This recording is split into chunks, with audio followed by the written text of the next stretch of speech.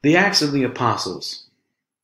The former treatise have I made, O Theophilus, of all that Jesus began both to do and teach, until the day in which he was taken up. After that he, through the Holy Ghost, had given commandments unto the apostles whom he had chosen, to whom also he showed himself alive after his passion by many infallible proofs, being seen of them forty days, and speaking of the things pertaining to the kingdom of God.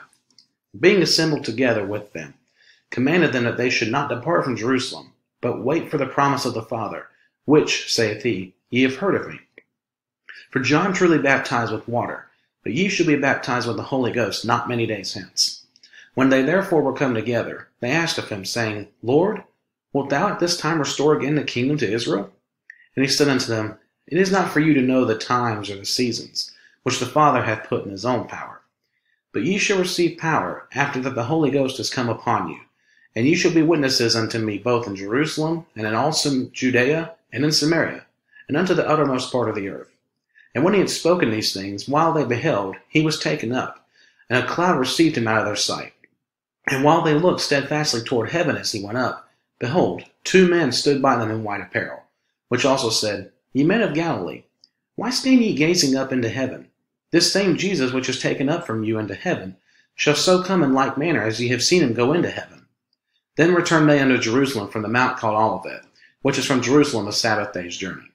And when they were come in, they went up into an upper room, where abode both Peter and James and John and Andrew, Philip and Thomas, Bartholomew and Matthew, James the son of Alphaeus, and Simon Zelotes, and Judas the brother of James. These all continued with one accord in prayer and supplication, with the women, and Mary the mother of Jesus, and with his brethren. And in those days Peter stood up in the midst of the disciples and said, The number of names together were about an hundred and twenty. Men and brethren, this scripture must needs have been fulfilled, which the Holy Ghost by mouth of, mouth of David spake before concerning Judas, which was guide to them that took Jesus. For he was numbered with us, and had obtained part of his this ministry. Now this man purchased a field with the reward of iniquity, and falling headlong, he burst asunder in the midst, and all his bowels gushed out. And it was known unto all the dwellers at Jerusalem, insomuch as that field is called in their proper tongue, Aceldama, that is to say, the field of blood. For it is written in the book of Psalms, Let his habitation be desolate, and let no man dwell therein, and his bishopric let another take. Wherefore of these men which have accompanied with us all the time that the Lord Jesus went in and out among us, beginning from the baptism of John, unto that same day that he was taken up from us, must one be ordained to be a witness with us of this resurrection. And they appointed two, Joseph called Barsabas, who was surnamed Justus and Matthias. And they prayed and said, Thou Lord, which thou which knowest the hearts of all men, show whether of these two thou hast chosen, that he may take part of this ministry and apostleship, from which Judas by transgression fell, that he might go to his own place. And they gave forth their lots, and the lot fell upon Matthias, and he was numbered with the eleven apostles. And when the day of Pentecost was fully come, they were all with one accord in one place. And suddenly there came a sound from heaven as of a rushing mighty wind, and it filled all the house when they were sitting. And there appeared unto them cloven tongues like as of fire, and it sat upon each of them. And they were all filled with the Holy Ghost, and began to speak with other tongues, as the Spirit gave them utterance. And there were dwelling at Jerusalem Jews, devout men, out of every nation under heaven. Now when this was noised abroad, the multitude came together, and were confounded, because that every man had heard them speak in his own language. And they were all amazed and marveled, saying one to another, Behold, are not all these which speak Galileans? And how hear we every man in our own tongue wherein we were born? Parthians and Medes and Elamites and the dwellers in Mesopotamia and in Judea and in Cappadocia, in Pontus and Asia, Phrygia and Pamphylia and Egypt, and in the parts of Libya about Cyrene and strangers of Rome, Jews and proselytes, Cretes and Arabians, we do hear them speak in our tongues the wonderful works of God. And they were all amazed and were in doubt, saying one to another, What meaneth this? Others mocking said, these men are full of new wine. But Peter, standing up with the eleven, lifted up his voice and said unto them, Ye men of Judea, and all ye that dwell at Jerusalem, be this known unto you, and hearken to my words. For these are not drunken, as ye suppose, seeing it is but the third hour of the day. But this is that which was spoken by the prophet Joel. And it shall come to pass in the last days, saith God, I will pour out of my spirit upon all flesh, and your sons and your daughters shall prophesy, and your young men shall see visions, and your old men shall dream dreams. And all my servants and all my handmaidens I will pour out in those days of my spirit, and they shall prophesy. And I will show wonders in heaven above, and signs in the earth beneath, blood and fire and vapor of smoke. The sun shall be turned into darkness, and the moon into blood, before that great and notable day of the Lord come. And it shall come to pass that whosoever shall call on the name of the Lord shall be saved. Ye men of Israel, hear these words. Jesus of Nazareth, a man approved of God among you by miracles and wonders and signs, which God did by him in the midst of you, as ye yourselves also know, him being delivered by the determinate counsel and foreknowledge of God, ye have taken, and by wicked hands have crucified and slain, whom God hath raised up, having loosed the pains of death, because it was not possible that he should be holden of it. For David speaketh concerning him, I foresaw the Lord always before my face, for he is on my right hand, that I should not be moved. Therefore did my heart rejoice, and my tongue was glad. Moreover also my flesh shall rest in his hope because thou wilt not leave my soul in hell, neither wilt thou suffer thine Holy One to see corruption. Thou hast made known to me the ways of life. Thou shalt make me full of joy with thy countenance. Men and brethren, let me freely speak unto you of the patriarch David, that he is both dead and buried, and his sepulchre is with us unto this day. Therefore, being a prophet, and knowing that God had sworn with an oath to him, that of the fruit of his loins, according to the flesh, he would raise up Christ to sit on his throne, he seeing this before spake of the resurrection of Christ, that his soul was not left in hell, neither his flesh did see corruption. This Jesus hath God raised up, whereof we are all witnesses. Therefore, being by the right hand of God exalted, and having received of the Father the promise of the Holy Ghost, he hath shed forth this, which ye now see and hear. For David is not ascended into the heavens, but he saith himself, The Lord said unto my Lord, Sit thou on my right hand, until I make thy foes thy footstool. Therefore let all the house of Israel know assuredly that God hath made that same Jesus whom ye have crucified, both Lord and Christ. Now when they heard this, they were pricked in their heart, and said unto Peter and to the rest of the apostles, Men and brethren, what shall we do? Then Peter said unto them, Repent, and be baptized, every one of you, in the name of Jesus Christ, for the remission of sins, and ye shall receive the gift of the Holy Ghost. For the promise is unto you and to your children, and to all that are afar off, even as many as the Lord our God shall call. And with many other words did he testify and exhort, saying, Save yourselves from this untoward generation. Then they that gladly received his word were baptized. And the same day there were added unto them about three thousand souls. And they continued steadfastly in the apostles' doctrine, and fellowship, and in breaking of bread, and in prayers. And fear came upon every soul and many wonders and signs were done by the apostles. And all that believed were together, and had all things common, and sold their possessions and goods, and parted them to all men, as every man had need. And they, continuing daily with one accord in the temple, and breaking bread from house to house, did eat their meat with gladness and singleness of heart, praising God and having favor with all the people. And the Lord added to the church daily such as should be saved. Now Peter and John went up together into the temple at the hour of prayer, being the ninth hour. And a certain man, lame from his mother's womb, was carried, whom they laid daily at the gate of the temple, which is called Beautiful, to ask alms of them that entered into the temple. Who seeing Peter and John about to go into the temple, asked an alms. And Peter, fastening his eyes upon him with John, said, Look on us. And he gave heed unto them, expecting to receive something of them. Then Peter said, Silver and gold have I none, but such as I have give I thee. In the name of Jesus Christ of Nazareth, rise up and walk. And he took him by the right hand and lifted him up. And immediately his feet and ankle bones received strength. And he, leaping up, stood and walked and entered with them into the temple, walking and leaping and praising God. And all the people saw him walking and praising God. And they knew that it was he which sat at alms at the beautiful gate of the temple. And they were filled with wonder and amazement at that which had happened unto them. And as the lame man which was healed, healed held Peter and John, all the people ran together unto them in the porch that is called Solomon's, greatly wondering. And when Peter saw it, he answered unto the people, Ye men of Israel, why marvel ye at this? Or why look ye so earnestly on us, as though by our own power or holiness we had made this man to walk? The God of Abraham and of Isaac and of Jacob, the God of our fathers, hath glorified his Son Jesus, whom ye delivered up and denied him in the presence of Pilate when he was determined to let him go. But ye denied the Holy One and the just, and desired a murderer to be granted unto you, and killed the Prince of Life, whom God hath raised from the dead, whereof we are witnesses.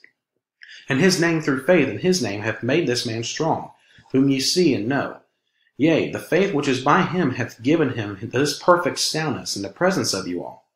And now, brethren, I wot that through ignorance ye did it, as did also your rulers. But those things which God before had showed by the mouth of all his prophets, that Christ should suffer, he hath so fulfilled. Repent ye therefore, and be converted, that your sins may be blotted out, when the times of refreshing shall come from the presence of the Lord.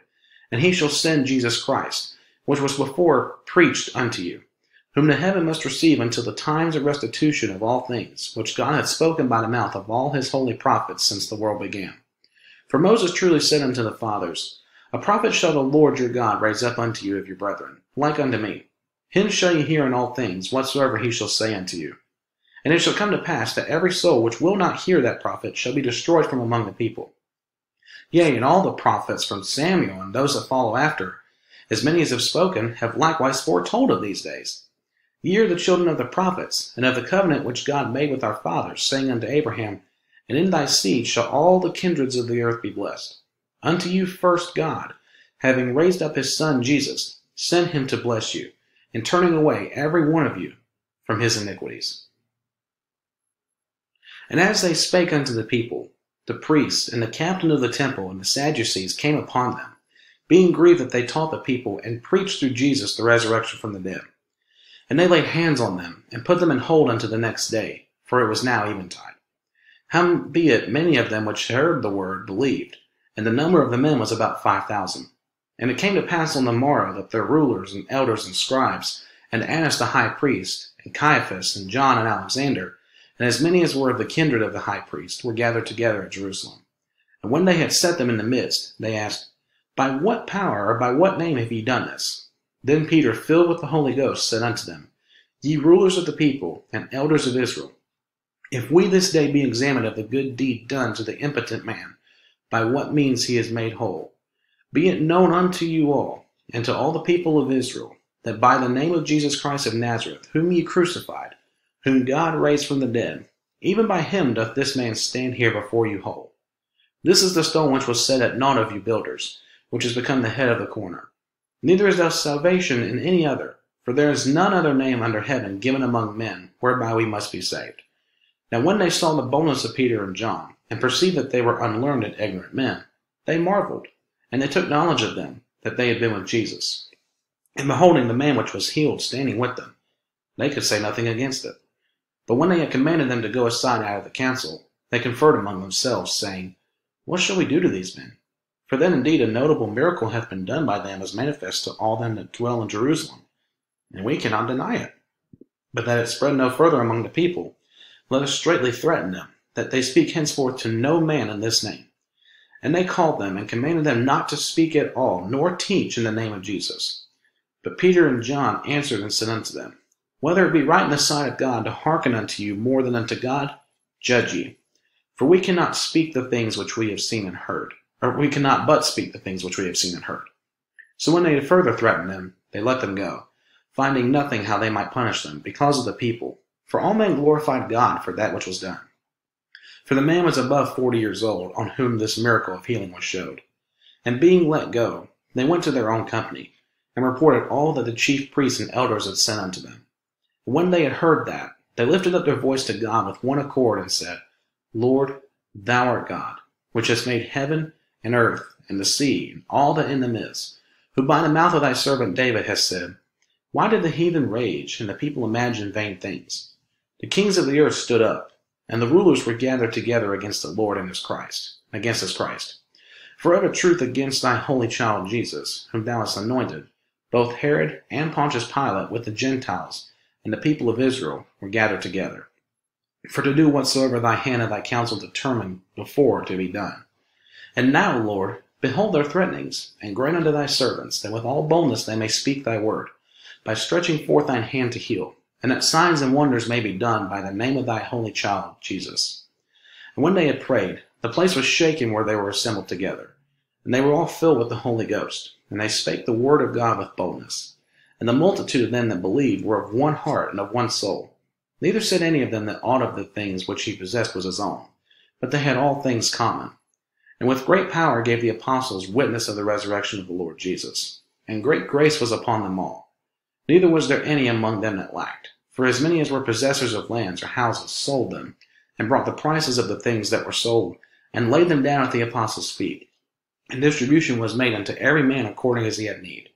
And Joseph, who by the apostles was surnamed Barnabas, which is being interpreted the son of consolation, a Levite, and of the country of Cyprus, having land, sold it, and brought the money, and laid it at the apostles' feet.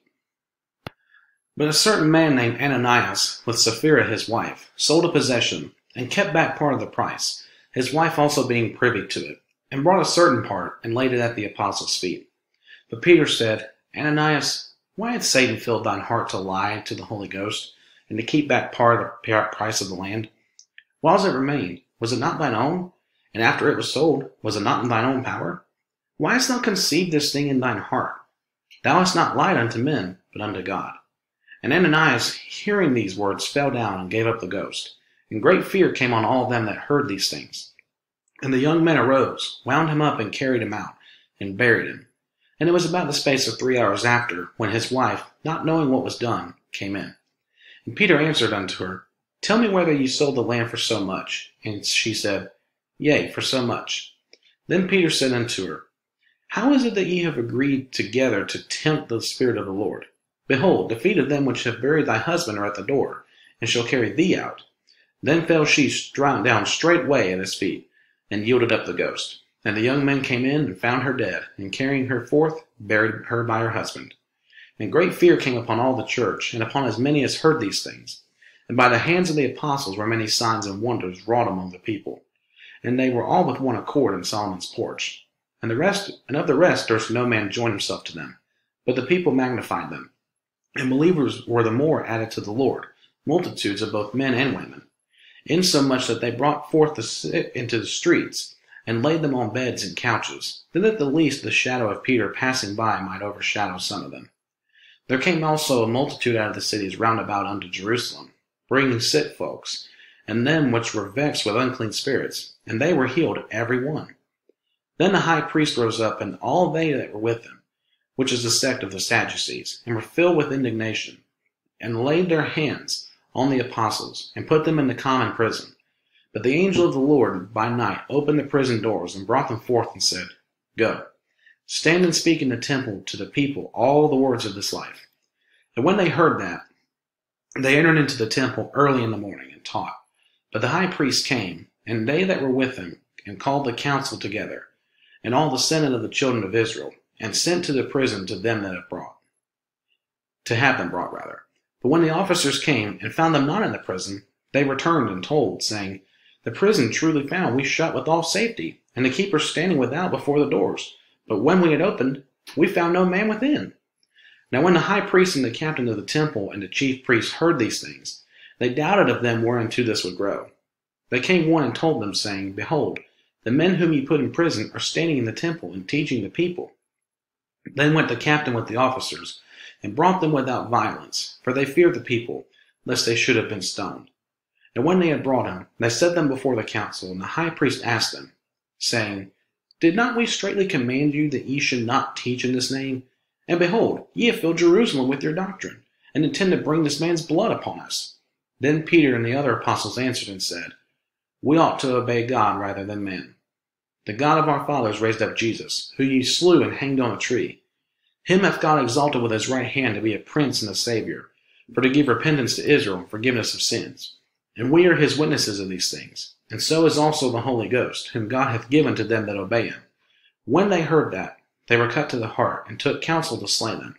Then stood there up one in the council, a Pharisee, named Gamaliel, a doctor of the law, having reputation among all the people and commanded to put the apostles forth a little space, and said unto them, Ye men of Israel, take heed to yourselves what ye intend to do as touching these men.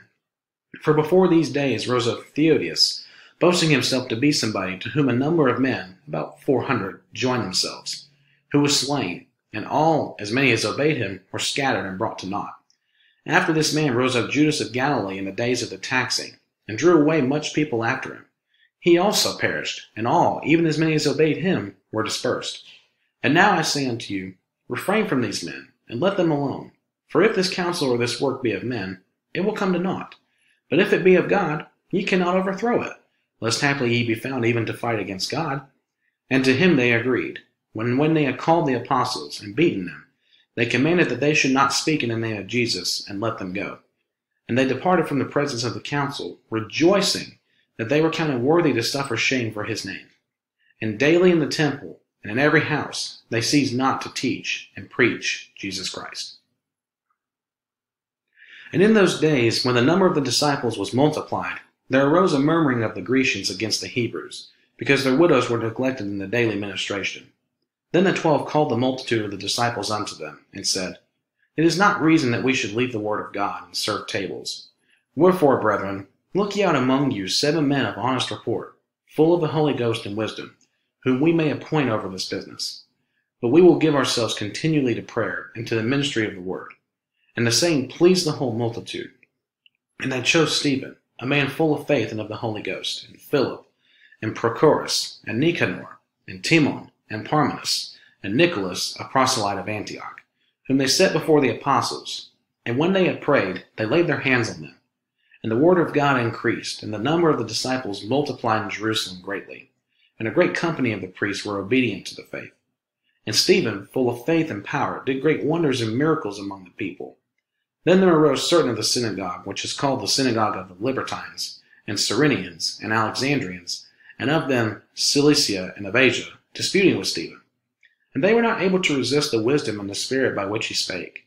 Then they suborned men, which said, We have heard him speak blasphemous words against Moses and against God. And they stirred up the people, and the elders, and the scribes, and came upon him, and caught him, and brought him to the council, and set up false witnesses, which said, This man ceaseth not to speak blasphemous words against this holy place, and the law. For we have heard him say, that this Jesus of Nazareth shall destroy this place, and shall change the customs which Moses delivered us. And all that sat in the council, looking steadfastly on him, saw his face, as it had been the face of an angel. Then said the high priest, Are these things so? And he said, Men, brethren, and fathers, hearken. The God of glory appeared unto our father Abraham when he was in Mesopotamia, before he dwelt in Charran, and said unto him, Get thee out of thy country and from thy kindred, and come into the land which I shall show thee. Then came he out of the land of the Chaldeans, and dwelt in Charran, and from thence, when his father was dead, he removed him into this land, wherein ye now dwell. And he gave him none inheritance in it, not so much as to set his foot on. Yet he promised that he would give it to him for a possession, and to his seed after him, when as yet he had no child.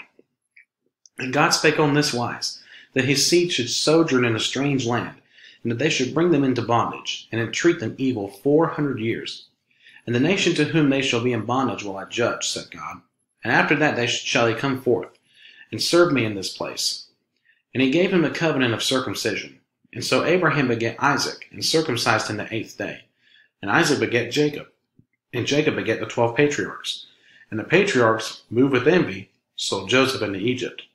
But God was with him, and delivered him out of all his afflictions, and gave him favor and wisdom in the sight of Pharaoh king of Egypt and he made him governor over Egypt and all his house.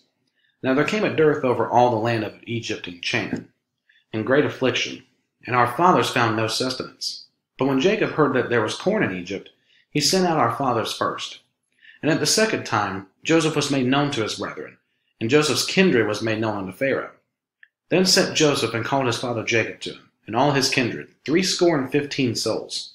So Jacob went down into Egypt, and died, he and our fathers, and were carried over into Shechem, and laid in the sepulchre that Abraham bought for a sum of money of the sons of Hamor, the father of Shechem. But when the time of the promise drew nigh, which God had sworn to Abraham, the people grew and multiplied in Egypt, till another king arose which knew not Joseph. The same dealt subtly with our kindred, and evil entreated our fathers, so that they cast out our, their young children, to the end they may not live.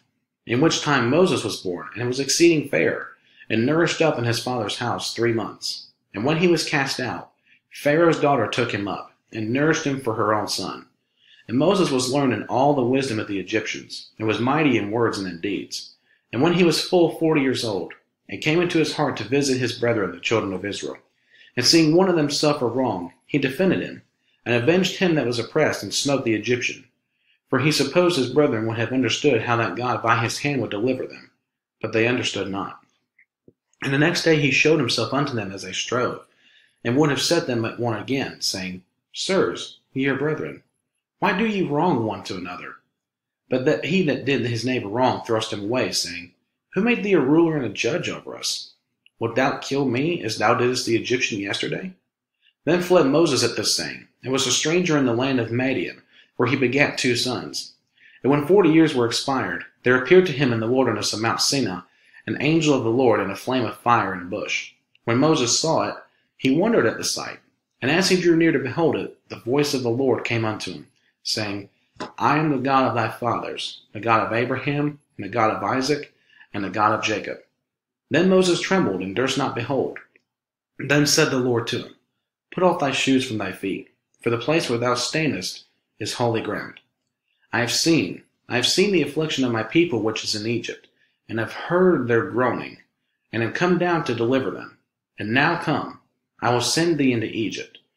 This Moses whom they refused, saying, Who made thee a ruler and a judge? The same did God send to be a ruler and a deliverer by the hand of the angel which appeared to him in the bush. He brought them out, after that he had showed wonders and signs in the land of Egypt, and in the Red Sea, and in the wilderness forty years. This is that Moses which said unto the children of Israel, A prophet shall the Lord your God raise up unto you of your brethren, like unto me. Him shall ye hear.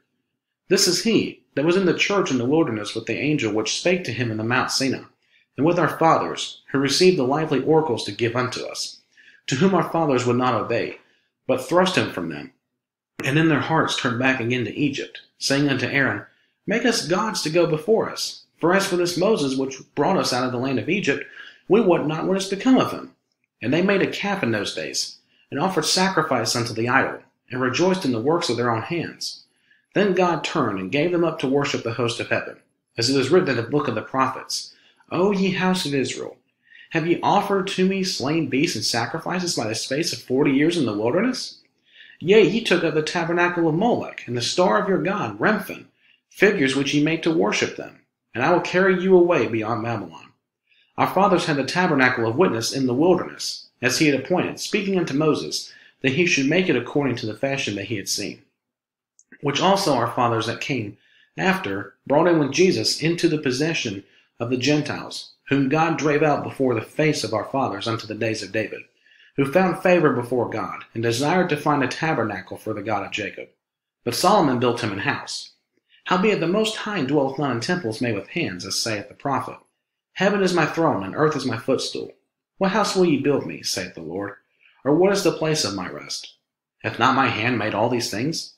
Ye stiff-necked and uncircumcised in heart and ears, ye do always resist the Holy Ghost. As your fathers did, so do ye. Which of the prophets have not your fathers persecuted? And they have slain them which showed before the coming of the just one, of whom ye have been now the betrayers and murderers, who have received the law by the disposition of angels, and have not kept it. When they had heard these things, they were cut to the heart, and they gnashed on him with their teeth. But he, being full of the Holy Ghost, looked up steadfastly into heaven, and saw the glory of God, and Jesus standing on the right hand of God, and said, Behold, I see the heavens opened, and the Son of Man standing on the right hand of God. Then they cried out with a loud voice, and stopped their ears, and ran upon him with one accord, and cast him out of the city, and stoned him. And the witnesses laid down their clothes at a young man's feet, whose name was Saul. And they stoned Stephen, calling upon God, and saying, Lord Jesus, receive my spirit. And he kneeled down and cried with a loud voice, Lord, lay not this sin to their charge. And when he had said this, he fell asleep. And Saul was consenting unto his death. And at that time there was a great persecution against the church which was at Jerusalem. And they were all scattered abroad throughout the regions of Judea and Samaria, except the apostles. And devout men carried Stephen to his burial, and made great lamentation over him. As for Saul, he made havoc of the church entering into every house, and hailing men and women, committed them to prison. Therefore they that were scattered abroad went everywhere preaching the word. Then Philip went down to the city of Samaria, and preached Christ unto them. And the people with one accord gave heed unto those things which Philip spake, hearing and seeing the miracles which he did. For unclean spirits, crying with loud voice, came out of many that were possessed with them, and many taken with palsies, and that were lame, were healed. And there was great joy in that city. But there was a certain man called Simon, which before time in the same city used sorcery, and bewitched the people of Samaria, giving out that himself was some great one. To whom they all gave heed, from the least to the greatest, saying, This man is the great power of God. And to him they had regard, because that of long time he had bewitched them with sorceries. But when they believed Philip preaching the things concerning the kingdom of God, and the name of Jesus Christ, they were baptized, both men and women. Then Simon himself believed also, and when he was baptized, he continued with Philip and wondered, beholding the miracles and signs which were done. Now when the apostles which were at Jerusalem heard that Samaria had received the word of God, they sent unto them Peter and John, who, when they were come down, prayed for them, that they might receive the Holy Ghost. For as yet he was fallen upon none of them, only they were baptized in the name of the Lord Jesus. Then laid they their hands on them, and they received the Holy Ghost. And when Simon saw that through laying on the apostles' hands the Holy Ghost was given, he offered them money, saying, Give me also this power, that on whomsoever I lay hands he may receive the Holy Ghost. But Peter said unto him, Thy money perish with thee, because thou hast thought that the gift of God may be purchased with money. Thou hast neither part nor lot in this matter, for thy heart is not right in the sight of God. Repent therefore of this thy wickedness, and pray God if perhaps the thought of thine heart may be forgiven thee. For I perceive that thou art in the gall of bitterness and in the bond of iniquity. Then answered Simon and said, Pray ye to the Lord for me, that none of these things which ye have spoken come upon me. And they, when they had testified and preached the word of the Lord, returned to Jerusalem, and preached the gospel in many villages of the Samaritans. And the angel of the Lord spake unto Philip, saying, Arise, and go toward the south unto the way that goeth down from Jerusalem unto Gaza, which is desert. And he arose and went, and behold, a man of Ethiopia, an eunuch of great authority under Candace, queen of the Ethiopians, who had the charge of all her treasure, and had come to Jerusalem for to worship, was returning, and sitting in his chariot, read Isaiah the prophet. Then the Spirit said unto Philip, Go near, and join thyself to this chariot. And Philip ran thither to him, and heard him read the prophet Isaiah, and said, Understandest thou what thou readest? And he said, How can I, except some man should guide me? And he desired Philip that he would come up and sit with him. The place of the scripture which he read was this He was led as a sheep to the slaughter, and like a lamb dumb before a shearer, so opened he not his mouth. In his humiliation his judgment was taken away.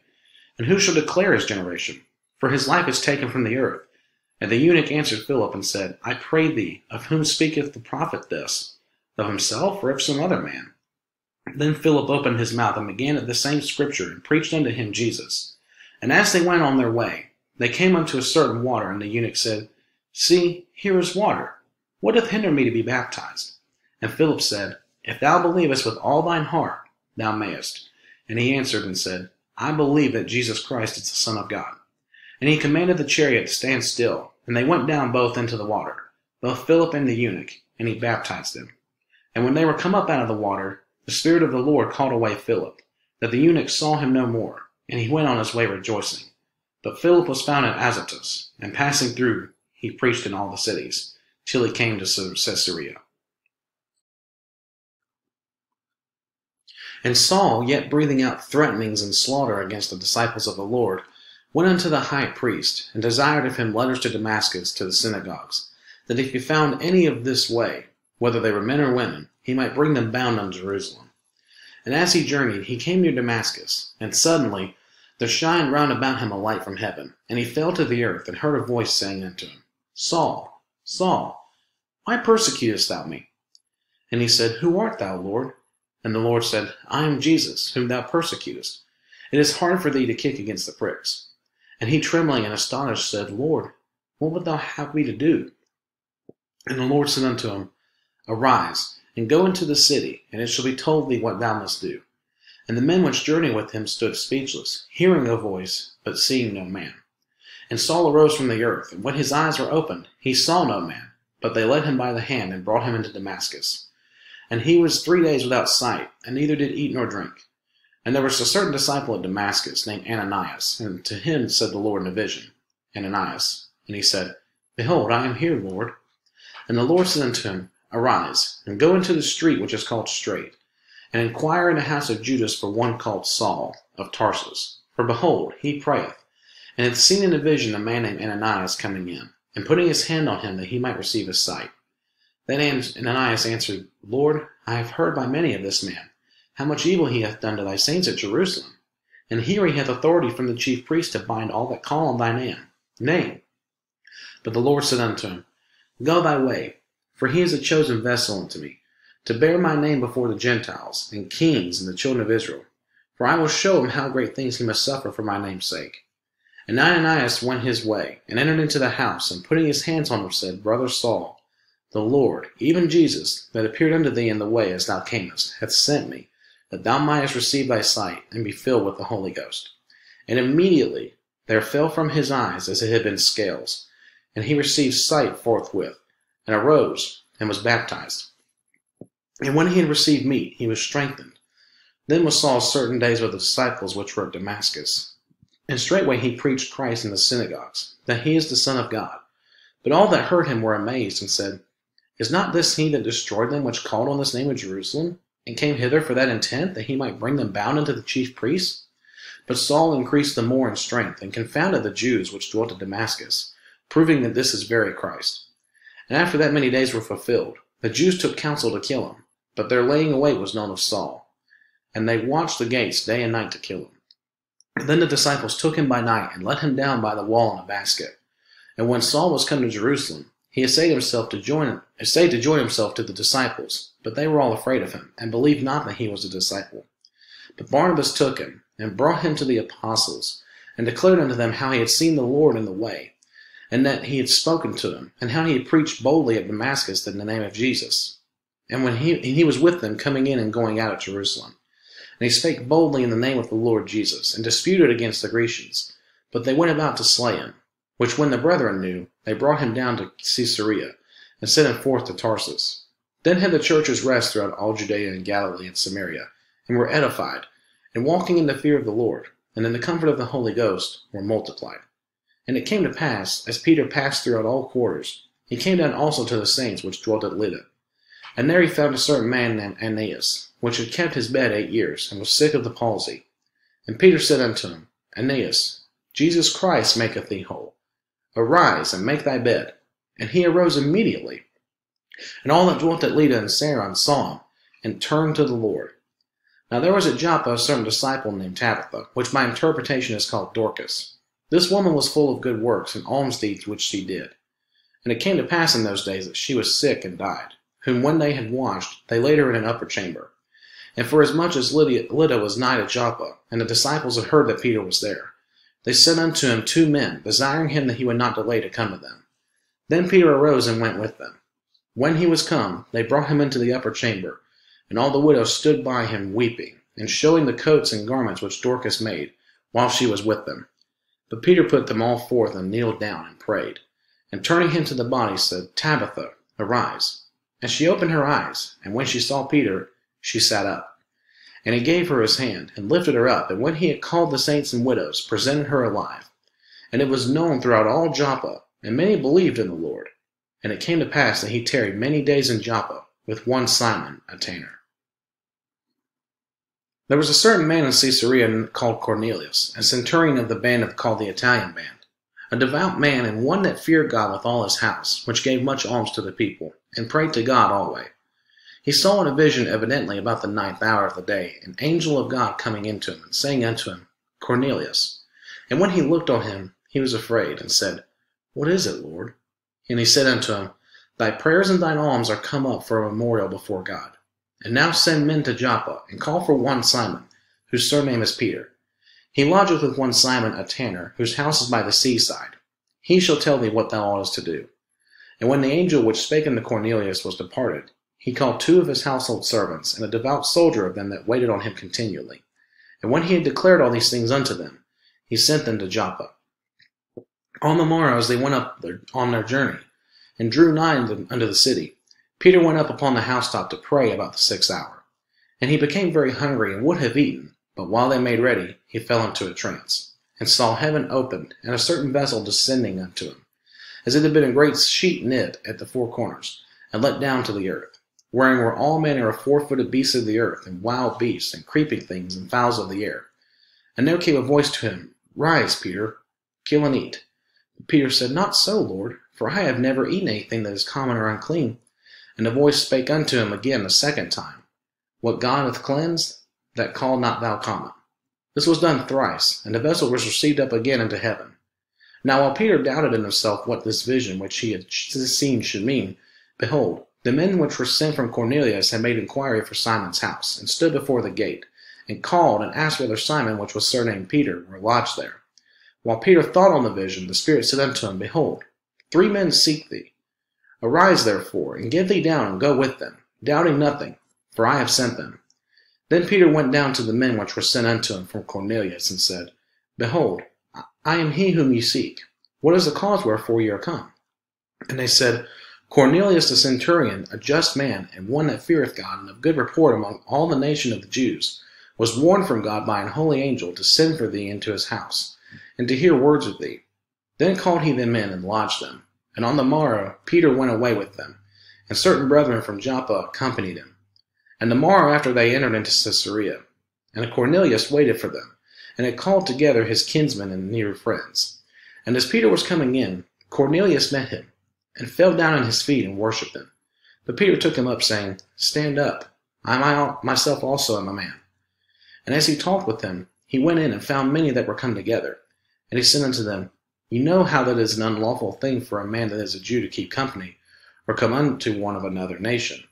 But God hath showed me that I should not call any man common or unclean. Therefore came I unto you without gainsaying, as soon as I was sent for. I ask therefore, For what intent ye have sent for me?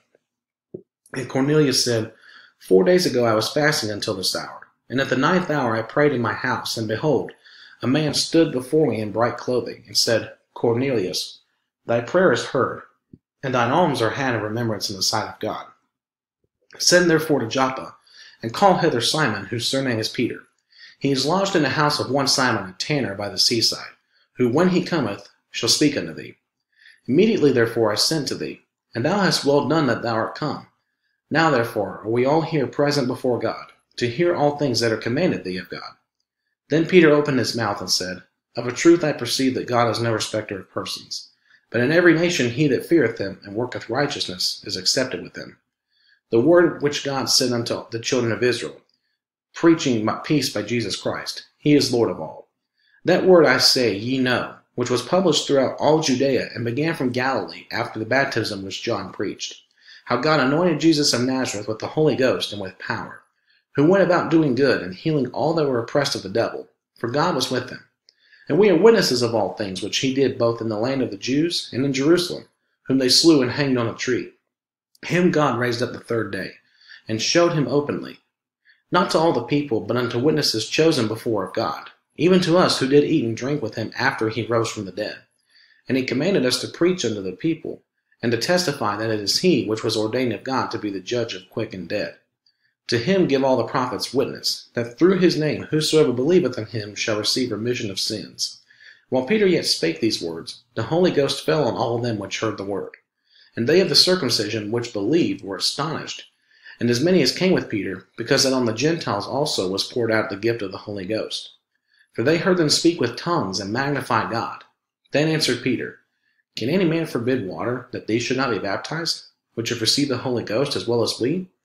And he commanded them to be baptized in the name of the Lord. They prayed to him to tarry certain days.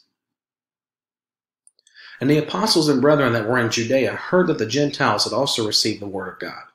And when Peter was come up to Jerusalem, they that were of the circumcision contended with him, saying, Thou wentest in to men uncircumcised, and didst eat with them.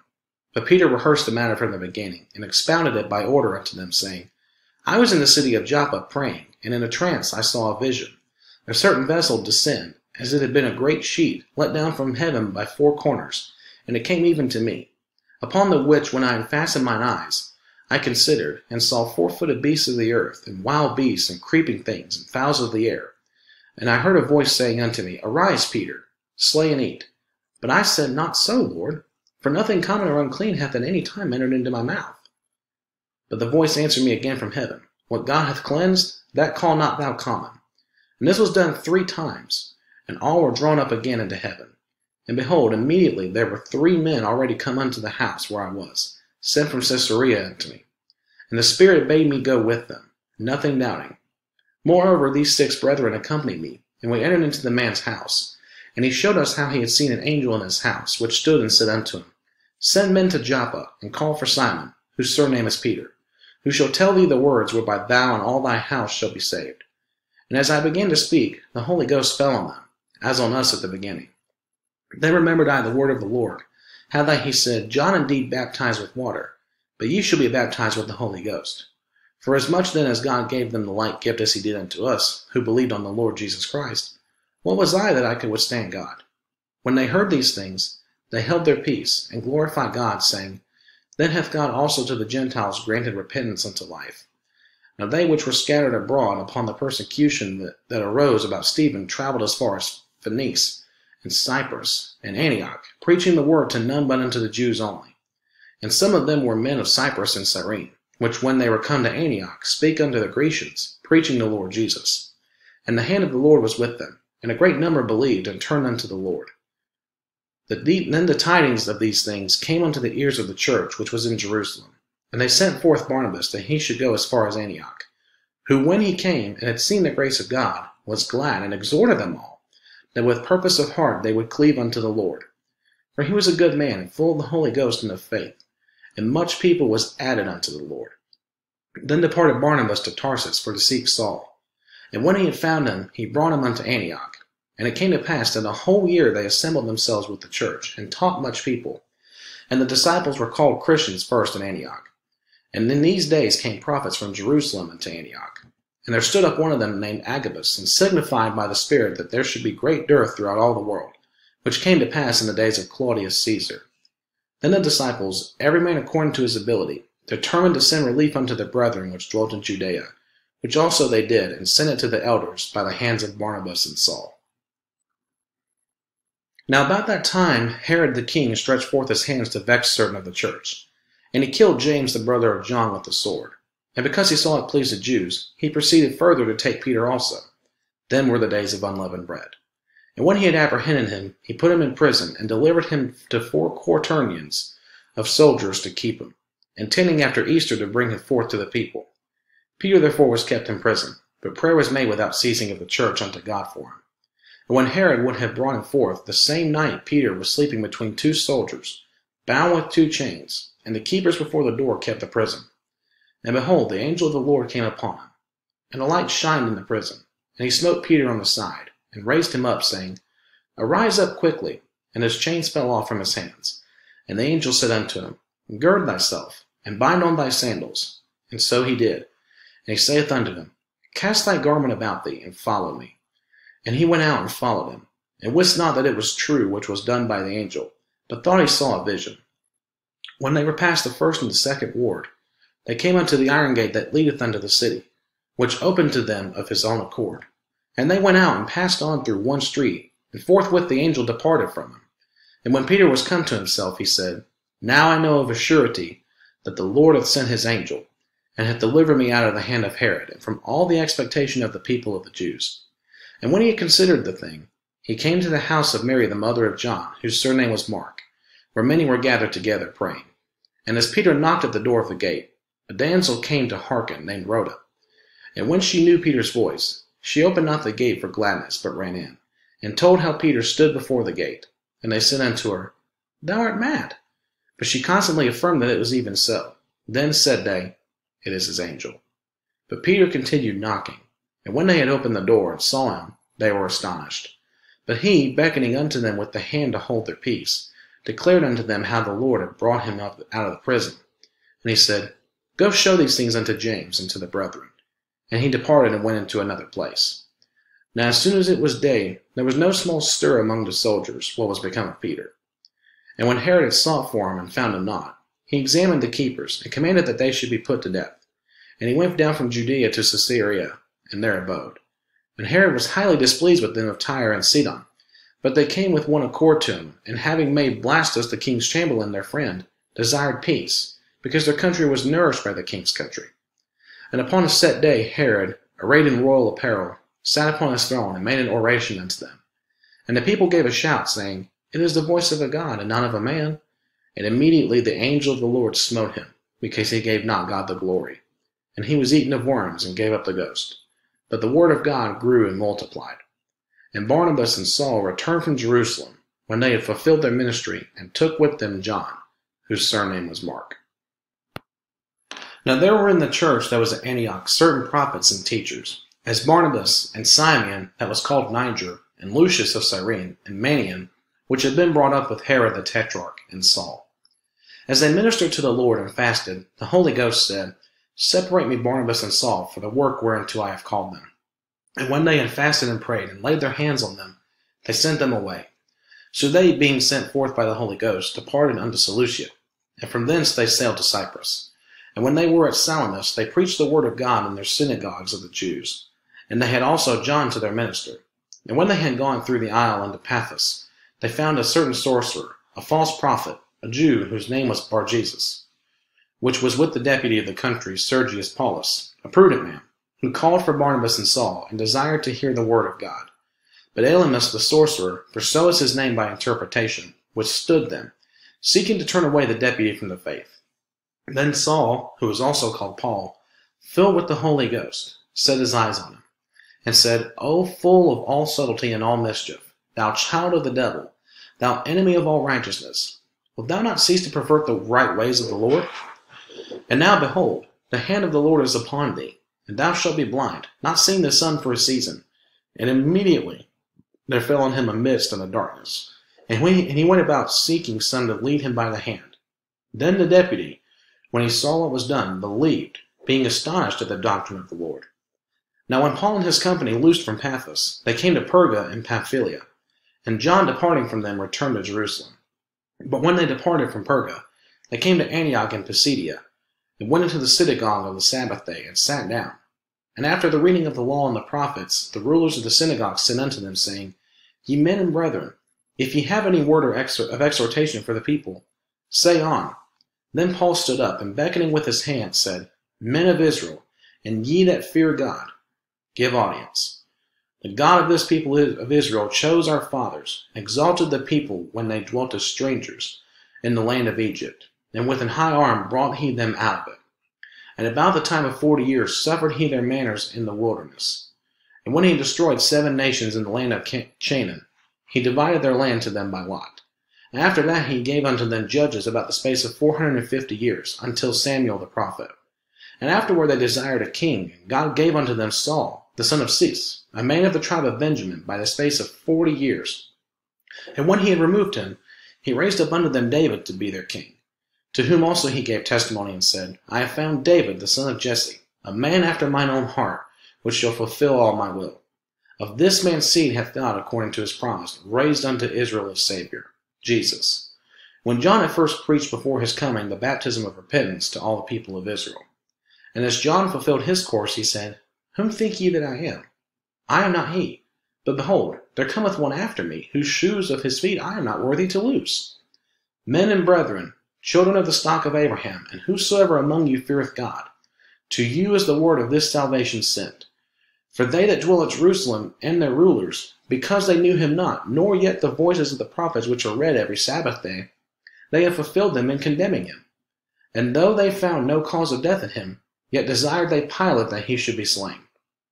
And when they had fulfilled all that was written of him, they took him down from the tree and laid him in a sepulchre. But God raised him from the dead. And he was seen many days of them which came up with him from Galilee to Jerusalem, who were his witnesses unto the people.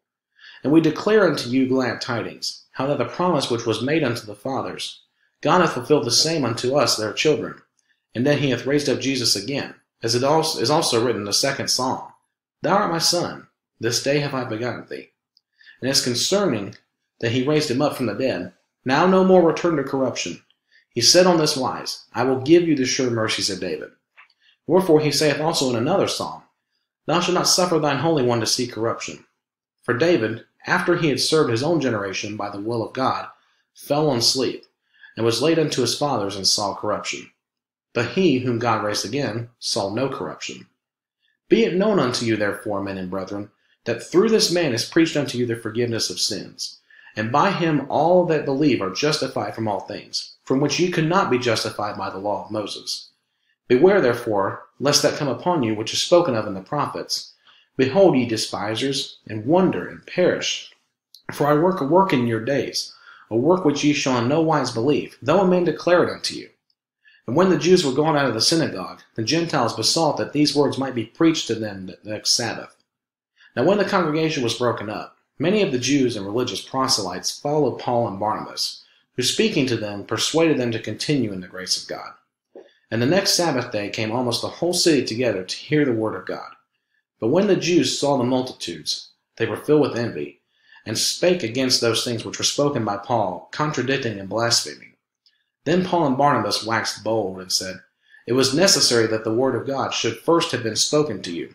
But seeing ye put it from you, and judge yourselves unworthy of everlasting life, lo, we turn to the Gentiles. For so hath the Lord commanded us, saying, I have set thee to be a light of the Gentiles, that thou shouldest be for salvation unto the ends of the earth. And when the Gentiles heard this, they were glad, and glorified the word of the Lord. And as many as were ordained to eternal life believed. And the word of the Lord was published throughout all the region. But the Jews stirred up the devout and honorable women, and the chief men in the city, and raised persecution against Paul and Barnabas, and expelled them out of their coast. But they shook off the dust of their feet against them, and came unto Iconium. And the disciples were filled with joy, and with the Holy Ghost. And it came to pass in Iconium that they went both together into the synagogue of the Jews, and so spake, that a great multitude both of the Jews and also of the Greeks believed. But the unbelieving Jews stirred up the Gentiles, and made their minds evil affected against the brethren. Long time therefore abode they speaking boldly in the Lord, which gave testimony unto the word of his grace, and granted signs and wonders to be done by their hands. But the multitude of the city was divided, and part held with the Jews, and part with the apostles. And when there was an assault made both of the Gentiles and also of the Jews with their rulers, to use despitefully, and to stone them, they were aware of it, and fled unto Lystra and Derbe, cities of Lycaonia, and unto the region that lieth round about, and there they preached the gospel. And there sat a certain man at Lystra, impotent in his feet, being a cripple from his mother's womb, who never had walked.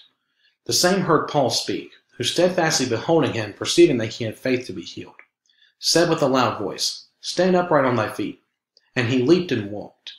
And when the people saw what Paul had done, they lifted up their voices, saying in the speech of Lycaonia, The gods are come down to us in the likeness of men. And they called Barnabas Jupiter, and Paul Mercurius, because he was the chief speaker. Then the priests of Jupiter, which was before their city, brought oxen and garlands into the gates, and would have done sacrifice with the people. Which when the apostles, Barnabas and Paul, heard of, they rent their clothes and ran in among the people, crying out and saying, Sirs, why do ye these things? We also are men of like passions with you, and preach unto you that ye should turn from these vanities unto the living God, which made heaven and earth and the sea and all things that are therein, who in time past suffered all nations to walk in their own ways. Nevertheless, he left not himself without witness, in that he did good, and gave us rain from heaven and fruitful seasons, filling our hearts with food and gladness. And with these sayings scarce restrained they the people, that they had not done sacrifice unto them. And there came thither certain Jews from Antioch and Iconium, who persuaded the people, and having stoned Paul, drew him out of the city, supposing he had been dead. Howbeit, as the disciples stood round about him, he rose up and came into the city, and the next day he departed with Barnabas to Derbe. And when they had preached the gospel to that city, and had taught many, they returned again to Lystra and to Iconium and Antioch, confirming the souls of the disciples, and exhorting them to continue in the faith, and that we must through much tribulation enter into the kingdom of God. And when they had ordained them elders in every church, and had prayed with fasting, they commended them to the Lord on whom they believed. And after they had passed through Pisidia, they came to Pamphylia. And when they had preached the word in Perga, they went down into Attalia, and then sailed to Antioch, from whence they had been recommended to the grace of God for the work which they fulfilled. And when they were come, and had gathered the church together, they rehearsed all that God had done with them and how he had opened the door of faith unto the Gentiles. And there they abode a long time with the disciples.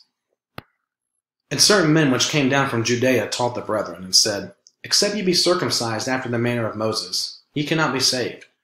When therefore Paul and Barnabas had no small dissension and disputation with them, they determined that Paul and Barnabas and certain other of them should go up to Jerusalem unto the apostles and elders about this question. And being brought on their way by the church, they passed through the Phenice and Samaria declaring the conversation of the Gentiles. And they caused great joy unto all the brethren. And when they were come to Jerusalem, they were received of the church, and of the apostles and elders, and they declared all things that God had done with them. But there rose up certain of the sect of the Pharisees which believed, saying that it was needful to circumcise them, and to command them to keep the law of Moses. And the apostles and elders came together for to consider of this matter. And when there had been much disputing, Peter rose up and said unto them, Men and brethren, ye know that how that a good while ago God made choice among us, that the Gentiles by my mouth should hear the word of the gospel and believe. And God, which knoweth the hearts, bare them witness, giving them the Holy Ghost, even as he did unto us, and put no difference between us and them, purifying their hearts by faith. Now therefore, why tempt ye God, to put a yoke upon the neck of the disciples, which neither our fathers nor we are able to bear? But we believe that through the grace of the Lord Jesus Christ we shall be saved, even as they. Then all the multitude kept silence and gave audience to Barnabas and Paul, declaring what miracles and wonders God had wrought among the Gentiles by them. And after they had held their peace, James answered, saying, Men and brethren, hearken unto me. Simeon hath declared how God at the first did visit the Gentiles, to take out of them a people for his name. And to this agree the words of the prophets, as it is written, after this I will return, and will build again the tabernacle of David, which is fallen down. And I will build again the ruins thereof, and I will set it up, that the residue of men might seek after the Lord, and all the Gentiles, upon whom my name is called, saith the Lord, who doeth all these things. Known unto God are all his works from the beginning of the world. Wherefore my sentence is, that we trouble not them, which from among the Gentiles are turned to God, but that we write unto them, that they abstain from pollutions of, of idols, and from fornication, and from things strangled, and from blood. For Moses of old time hath in every city them that preach him, being read in the synagogues every Sabbath day. Then pleased the apostles and elders with the whole church to send chosen men of their own company to Antioch with Paul and Barnabas, namely Judas surnamed Barsabas, and Silas, chief men among the brethren. And they wrote letters by them after this manner.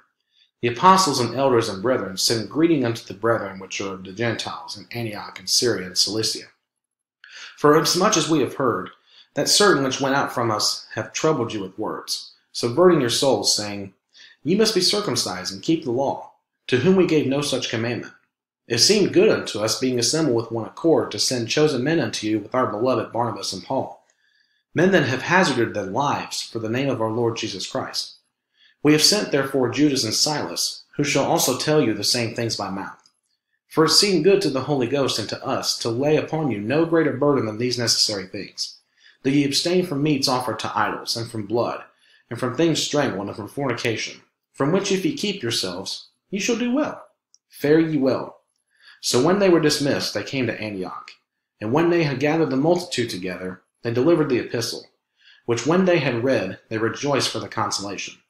And Judas and Silas, being prophets also of themselves, exhorted the brethren with many words, and confirmed them. And after they had tarried there a space, they were let go in peace from the brethren unto the apostles. Notwithstanding, it pleased Silas to abide there still. Paul also and Barnabas continued in Antioch, teaching and preaching the word of the Lord, with many others also. And some days after Paul said unto Barnabas, Let us go again and visit our brethren in every city where we have preached the word of the Lord, and see how they do. And Barnabas determined to take with them John, whose surname was Mark. But Paul thought not good to take him with them, who departed from them from Pamphylia, and went not with them to the work. And the contention was so sharp between them that they departed asunder one from the other. And so Barnabas took Mark and sailed unto Cyprus. And Paul chose Silas and departed, being recommended by the brethren unto the grace of God. And he went through Syria and Cilicia, confirming the churches. Then came he to Derbe and Lystra, and behold, a certain disciple was there named Timotheus, the son of a certain woman, which was a Jewess, and believed. But his father was a Greek, which was well reported of by the brethren that were at Lystra and Iconium. Him would Paul have to go forth with them, and took and circumcised him because of the Jews which were in those quarters, for they knew all that his father was a Greek.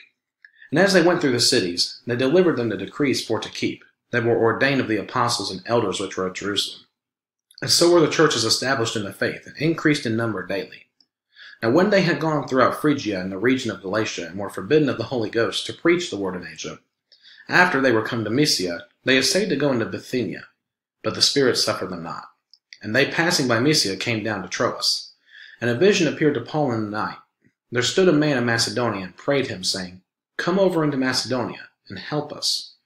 And after he had seen the vision, immediately we endeavored to go into Macedonia, assuredly gathering that the Lord had called us for to preach the gospel unto them. Therefore, loosing from Troas, we came with a straight course to Samothracia, and the next day to Neapolis, and from thence to Philippi, which is the chief city of that part of Macedonia, and a colony. And we were in that city abiding certain days. And on the Sabbath we went out of the city by a riverside, where prayer was wont to be made. And we sat down and spake unto the women which resorted thither. And a certain woman named Lydia, a seller of purple, of the city of Thyatira, which worshipped God, heard us, whose heart the Lord opened, that she attended unto the things which were spoken of Paul.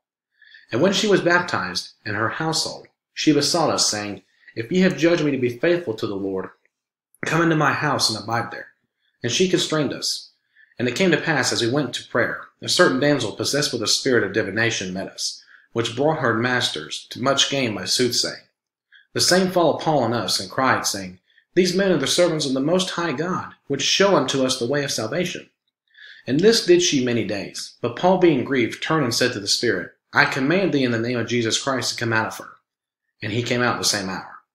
And when her masters saw that the hope of their gains was gone, they caught Paul and Silas, and drew them into the marketplace unto the rulers, and brought them to the magistrates, saying, These men, being Jews, do exceedingly trouble our city and teach customs which are not lawful for us to receive, neither to observe, being Romans.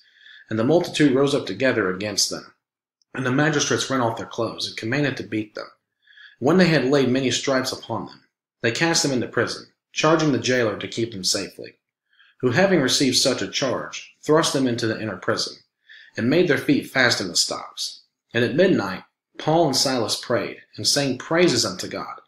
And the prisoners heard them. And suddenly there was a great earthquake, so that the foundations of the prison were shaken, and immediately all the doors were opened, and everyone's bands were loosed.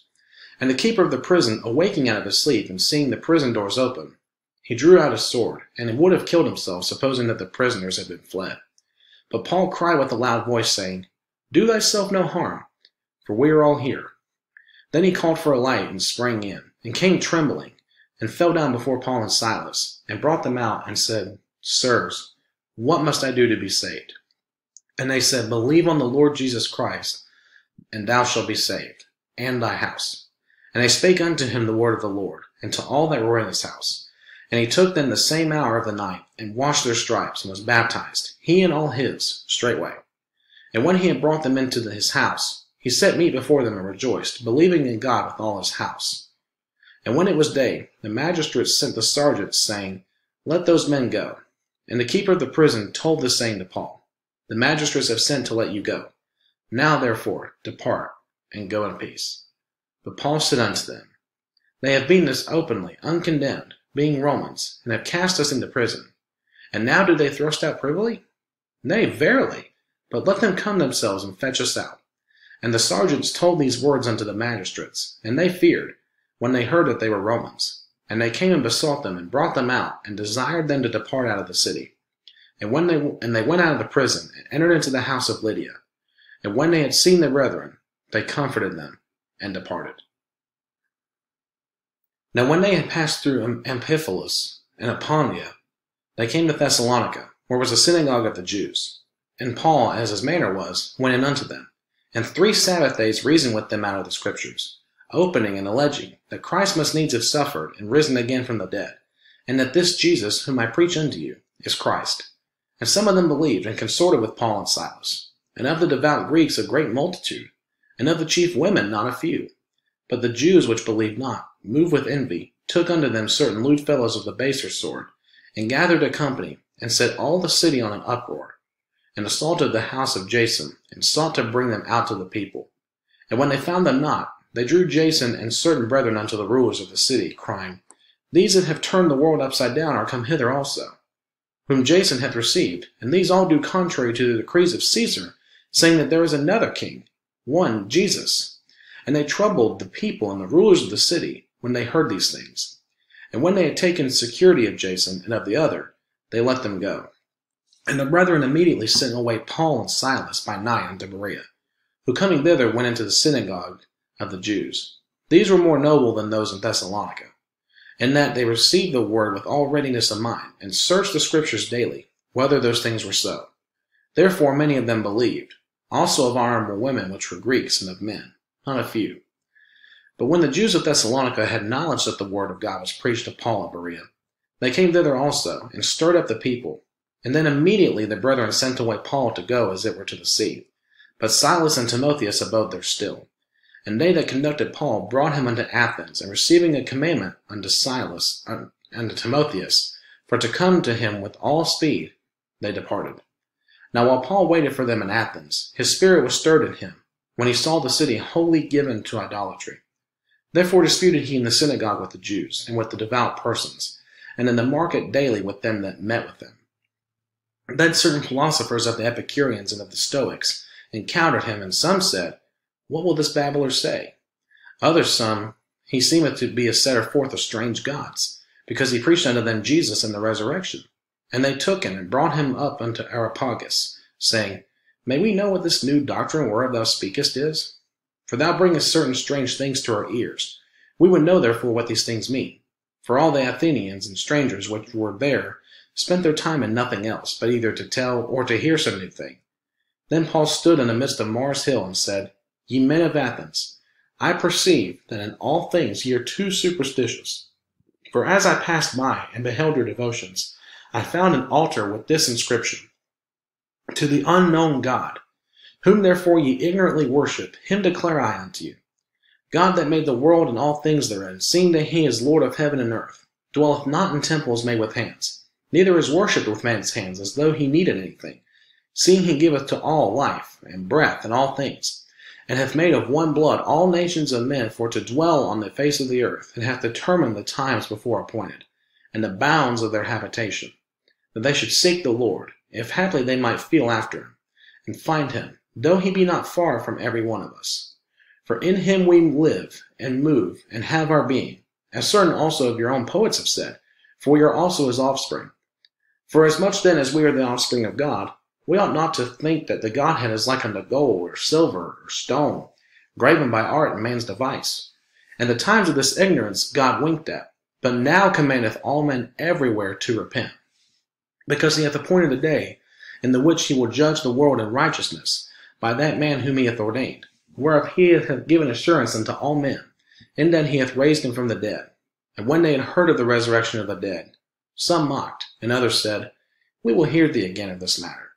So Paul departed from among them. Howbeit certain men clave unto him, and believed, among the which was Dionysius, the Areopagite, and a woman named Damaris, and others with them. After these things Paul departed from Athens, and came to Corinth, and found a certain Jew named Aquila, born in Pontus, lately come from Italy, with his wife Priscilla, because that Claudius had commanded all Jews to depart from Rome, and came unto them. And because he was of the same craft, he abode with them and wrought, for by their occupation they were tent makers. And he reasoned in the synagogue every Sabbath, and persuaded the Jews and the Greeks. And when Silas and Timotheus were come from Macedonia, Paul was pressed in the Spirit, and testified to the Jews that Jesus was Christ. And when they opposed themselves and blasphemed, he shook his raiment and said unto them, Your blood be upon your own heads. I am clean. From henceforth I will go unto the Gentiles. And he departed thence, and entered into a certain man's house, named Justus, one that worshipped God, whose house joined hard to the synagogue. And Crispus, the chief ruler of the synagogue, believed on the Lord with all his house, and many of the Corinthians hearing believed and were baptized. Then spake the Lord to Paul in the night by a vision Be not afraid, but speak, and hold not thy peace. For I am with thee, and no man shall set on thee to hurt thee. For I have much people in this city. And he continued there a year and six months, teaching the word of God among them. And when Gallio was the deputy of Achaia, the Jews made insurrection with one accord against Paul, and brought him to the judgment seat, saying, This fellow persuadeth men to worship God, contrary to the law. And when Paul was now about to open his mouth, Gallio said unto the Jews, If it were a matter of wrong or wicked lewdness, O ye Jews, reason would that I should bear with you. But if it be a question of words and names and of your law, look ye to it, for I will be no judge of such matters. And he drave them from the judgment seat. Then all the Greeks took Sosthenes, the chief ruler of the synagogue, and beat him before the judgment seat. And Gallio cared for none of those things. And Paul after this tarried there yet a good while, and then took his leave of the brethren and sailed thence into Syria, and with him Priscilla and Aquila, having shorn his head in Cenchrea, for he had a vow. And he came to Ephesus and left them there. But he himself entered into the synagogue and reasoned with the Jews. When they desired him to tarry longer time with them, he consented not, but bade them farewell, saying, I must by all means keep this feast that cometh in Jerusalem. But I will return again unto you, if God will. and he sailed from Ephesus. And when he had landed at Caesarea and gone up, and saluted the church, he went down to Antioch. And after he had spent some time there, he departed and went over all the country of Galatia and Phrygia in order, strengthening all the disciples. And a certain Jew named Apollos, born in Alexandria, an eloquent man, and mighty in the scriptures, came to Ephesus. This man was instructed in the way of the Lord, and being fervent in the Spirit, he spake and taught diligently the things of the Lord, knowing only the baptism of John. And he began to speak boldly in the synagogue, whom when Aquila and Priscilla had heard, they took him unto them, and expounded unto him the way of God more perfectly. And when he was disposed to pass into Achaia, the brethren wrote, exhorting the disciples to receive him, who, when he was come, helped them much which had believed through grace. For he mightily convinced the Jews, and that publicly, showing by the Scriptures that Jesus was Christ. And it came to pass that while Apollos was at Corinth, Paul, having passed through the upper coasts, came to Ephesus, and finding certain disciples, he said unto them, Have ye received the Holy Ghost since ye believed? And they said unto him, We have not so much as heard whether there be any Holy Ghost. And he said unto them, Unto what then were ye baptized? And they said, Unto John's baptism. Then said Paul, John verily baptized with the baptism of repentance, saying unto the people, that they should believe on him which should come after him, that is, on Christ Jesus. When they heard this, they were baptized in the name of the Lord Jesus. And when Paul had laid his hands upon them, the Holy Ghost came on them, and they spake with tongues and prophesied. And all the men were about twelve. And he went into the synagogue, and spake boldly for the space of three months, disputing and persuading the things concerning the kingdom of God. But when divers were hardened and believed not, but spake evil of that way before the multitude, he departed from them, and separated the disciples, disputing daily in the school of one Tyrannus. And this continued by the space of two years, so that all they which dwelt in Asia heard the word of the Lord Jesus, both Jews and Greeks. And God wrought special miracles by the hands of Paul, so that from his body were brought unto the sick handkerchiefs and aprons, and the diseases departed from them, and the evil spirits went out of them. Then certain of the vagabond Jews and exorcists took upon them to call over them which had evil spirits the name of the Lord Jesus, saying, We adjure you by Jesus whom Paul preacheth. And there were seven sons of one Sceva, a Jew, a chief of the priests, which did so. And the evil spirit answered and said, Jesus I know, and Paul I know, but who are ye? And the man in whom the evil spirit was leaped on them, and overcame them, and prevailed against them, so that they fled out of that house naked and wounded. And this was known to all the Jews and Greeks also dwelling at Ephesus. And fear fell on them all, and the name of the Lord Jesus was magnified. And many that believed came and confessed, and showed their deeds. Many of them also which used curious arts brought their books together, and burned them before all men. And they counted the price of them, and found it fifty thousand pieces of silver. So mightily grew the word of God, and prevailed. After these things were ended, Paul purposed in the Spirit, when he had passed through Macedonia and Achaia, to go to Jerusalem, saying, After I have been there, I must also see Rome. So he sent into Macedonia two of them that ministered unto him, Timotheus and Erastus but he himself stayed in Asia for a season. And the same time there arose no small stir about that way. For a certain man named Demetrius, a silversmith, which made silver shrines for Diana, brought no small gain unto the craftsmen, whom he called together with the workmen of like occupation, and said, Sirs, ye know that by this craft we have our wealth. Moreover ye see and hear, that not alone at Ephesus, but almost throughout all Asia, this Paul hath persuaded and turned away much people, saying that they be no gods, which are made with hands. So that not only this our craft is in danger to be set at naught, but also that the temple of the great goddess Diana should be despised, and her magnificence should be destroyed, whom all Asia and the world worshippeth. And when they heard these things, they were full of wrath, and cried out, saying, Great is Diana of the Ephesians. And the whole city was filled with confusion excuse me, and having caught Gaius and Aristarchus, men of Macedonia, Paul's companions in travel, they rushed with one accord into the theater. And when Paul would have entered in unto the people, the disciples suffered him not. And certain of the chief of Asia, which were his friends, sent unto him, desiring him that he would not adventure himself into the theater. Some therefore cried one thing, and some another. For the assembly was confused, and the more part knew not wherefore they were come together. And they drew Alexander out of the multitude, the Jews putting him forward. And Alexander beckoned with the hand, and would have made his defense unto the people. But when they knew that he was a Jew, all with one voice, about the space of two hours, cried out, Great is Diana of the Ephesians. And when the town clerk had appeased the people, he said, Ye men of Ephesus, what man is there that knoweth not how that the city of the Ephesians is a worshipper of the great goddess Diana, and of the image which fell down from Jupiter? Seeing then that these things cannot be spoken against, ye ought to be quiet and do nothing rashly. For ye have brought hither these men, which are neither robbers of churches, nor yet blasphemers of your goddess. Wherefore, if Demetrius and the craftsmen which are with him have a matter against any man, the law is open, and there are deputies. Let them plead one another. But if ye inquire anything concerning other matters, it shall be determined in the lawful assembly. For we are in danger to be called in question for this day's uproar, there being no cause whereby we may give an account of this concourse. And when he had thus spoken, he dismissed the assembly. And after the uproar was ceased, Paul called unto him the disciples, and embraced them, and departed for to go into Macedonia. And when he had gone over those parts, and had given them much exhortation, he came into Greece, and there abode three months. And when the Jews laid wait for him, as he was about to sail into Syria, he purposed to return through Macedonia. And there accompanied him into Asia Sopater of Berea, and of the Thessalonians, Aristarchus and Secundus, and Gaius of Derbe, and Timotheus and of Asia, Tychicus and Timotheus. These going before tarried afore us at Troas.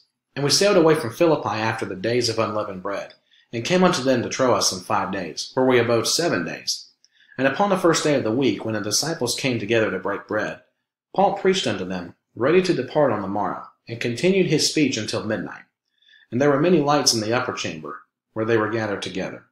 And there sat in a window a certain young man named Eutychus, being fallen into a deep sleep.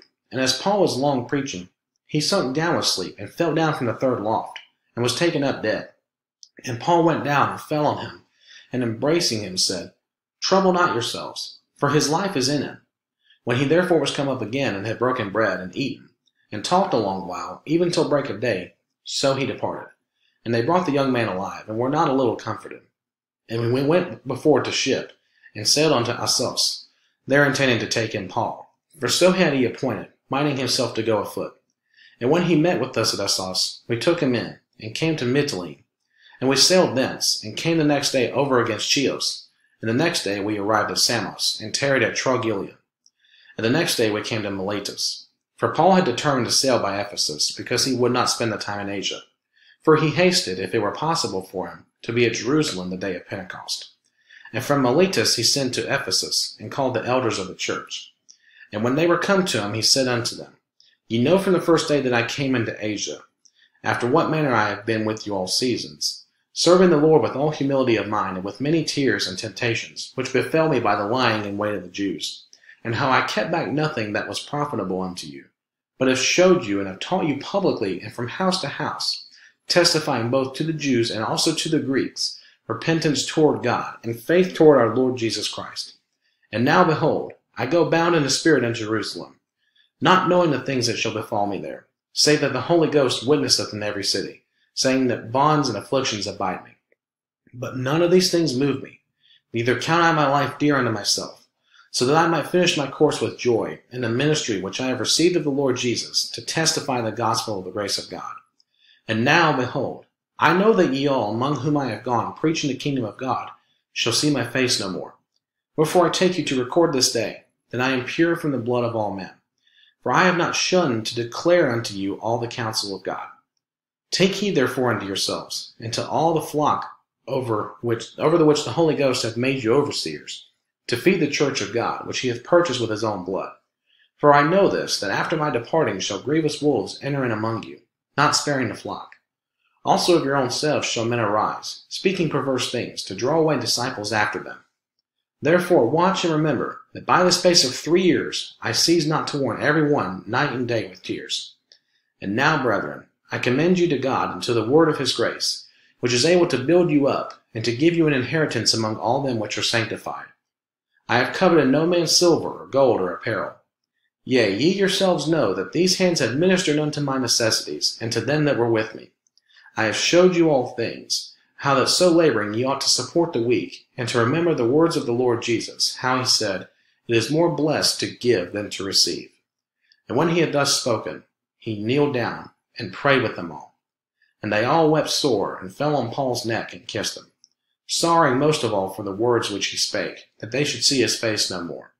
And they accompanied him unto the ship. And it came to pass that after we were gotten from them, and had launched, we came with a straight course unto Cos, and the day following unto Rhodes, and from thence unto Patara. And finding a ship sailing over unto Phoenicia, we went aboard, and set forth. Now when we had discovered Cyprus, we left it on the left hand, and sailed into Syria, and landed at Tyre, for there the ship was to unlade her burden. And finding disciples, we tarried there seven days, who said to Paul through the Spirit that he should not go up to Jerusalem. And when we had accomplished those days, we departed and went our way. And they all brought us on our way, with wives and children, till we were out of the city. And we kneeled down on the shore and prayed. And when we had taken our leave one of another, we took ship, and they returned home again. And when we had finished our course from Tyre, we came to Ptolemais, and saluted the brethren, and abode with them one day. And the next day we that were of Paul's company departed, and came unto Caesarea. And we entered into the house of Philip the evangelist, which was one of the seven, and abode with him. And the same man had four daughters, virgins, which did prophesy. And as we tarried there many days, there came down from Judea a certain prophet named Agabus. And when he was come unto us, he took Paul's girdle and bound his own hands and feet, and said, Thus saith the Holy Ghost, So shall the Jews of Jerusalem bind the man that owneth this girdle, and shall deliver him into the hands of the Gentiles. And when we heard these things, both we and they of that place besought him not to go up to Jerusalem. Then Paul answered, What mean ye to weep and to break mine heart? For I am ready not to be bound only, but also to die at Jerusalem for the name of the Lord Jesus. And when he would not be persuaded, we ceased, saying, The will of the Lord be done. And after those days we took up our carriages and went up to Jerusalem. There went with us also certain of the disciples of Caesarea, and brought with them one Mnason of Cyprus, an old disciple, with whom we should lodge. And when we were come to Jerusalem, the brethren received us gladly. And the day following, Paul went in with us to, unto James, and all the elders were present. And when he had saluted them, he declared particularly what things God had wrought among the Gentiles by his ministry. And when they heard it, they glorified the Lord and said unto him, Thou seest, brother, how many thousands of Jews there are which believe, and they are all zealous of the law. And they are informed of thee, that thou teachest all the Jews which are among the Gentiles to forsake Moses, saying that they ought not to circumcise their children, neither to walk after the customs. What is it, therefore? The multitude must needs come together, for they will hear that thou art come. Do therefore this that we say to thee. We have four men which have a vow on them. Them take, and purify thyself with them, and be at charges with them, that they may shave their heads, and all may know that those things, whereof they were informed concerning thee, are nothing, but that thou thyself also walkest orderly, and keepest the law. As touching the Gentiles which believe, we have written and concluded that they observe no such thing, save only that they keep themselves from things offered to idols, and from blood, and from strangled, and from fornication. Then Paul took the men, and the next day, purifying himself with them, entered into the temple, to signify the accomplishment of the days of purification, until that an offering should be offered for every one of them. And when the seven days were almost ended, the Jews which were of Asia, when they saw him in the temple, stirred up all the people and laid hands on him, crying out, Men of Israel, help! This is the man that teacheth all men everywhere against the people and the law, and this place, and further brought Greeks also into the temple, and hath polluted this holy place. For they had seen before with him in the city Trophimus, an Ephesian, whom they supposed that Paul had brought into the temple. And all the city was moved, and the people ran together, and they took Paul and drew him out of the temple, and forthwith the doors were shut. And as they went about to kill him, tidings came unto the chief captain of the band, that all Jerusalem was in an uproar, who immediately took soldiers and centurions, and ran down unto them. And when they saw the chief captain and the soldiers, they left beating of Paul. Then the chief captain came near, and took him, and commanded him to be bound with two chains, and demanded who he was and what he had done. And some cried one thing, some another, among the multitude, and when he could not know the certainty for the tumult, he commanded him to be carried into the castle. And when he came upon the stairs, so it was that he was borne of the soldiers for the violence of the people. For the multitude of the people followed after, crying, Away with him! And as Paul was to be led into the castle, he said unto the chief captain, May I speak unto thee? Who said, Canst thou speak Greek? Art not thou that Egyptian which before these days madest an uproar and leddest out into the wilderness four thousand men that were murderers? But Paul said, I am a man which am a Jew of Tarsus, a city in Cilicia, a citizen of no mean city, and I beseech thee, suffer me to speak unto the people. And when he had given him license, Paul stood on the stairs, and beckoned with the hand unto the people. And when there was made a great silence, he spake unto them in the Hebrew tongue, saying,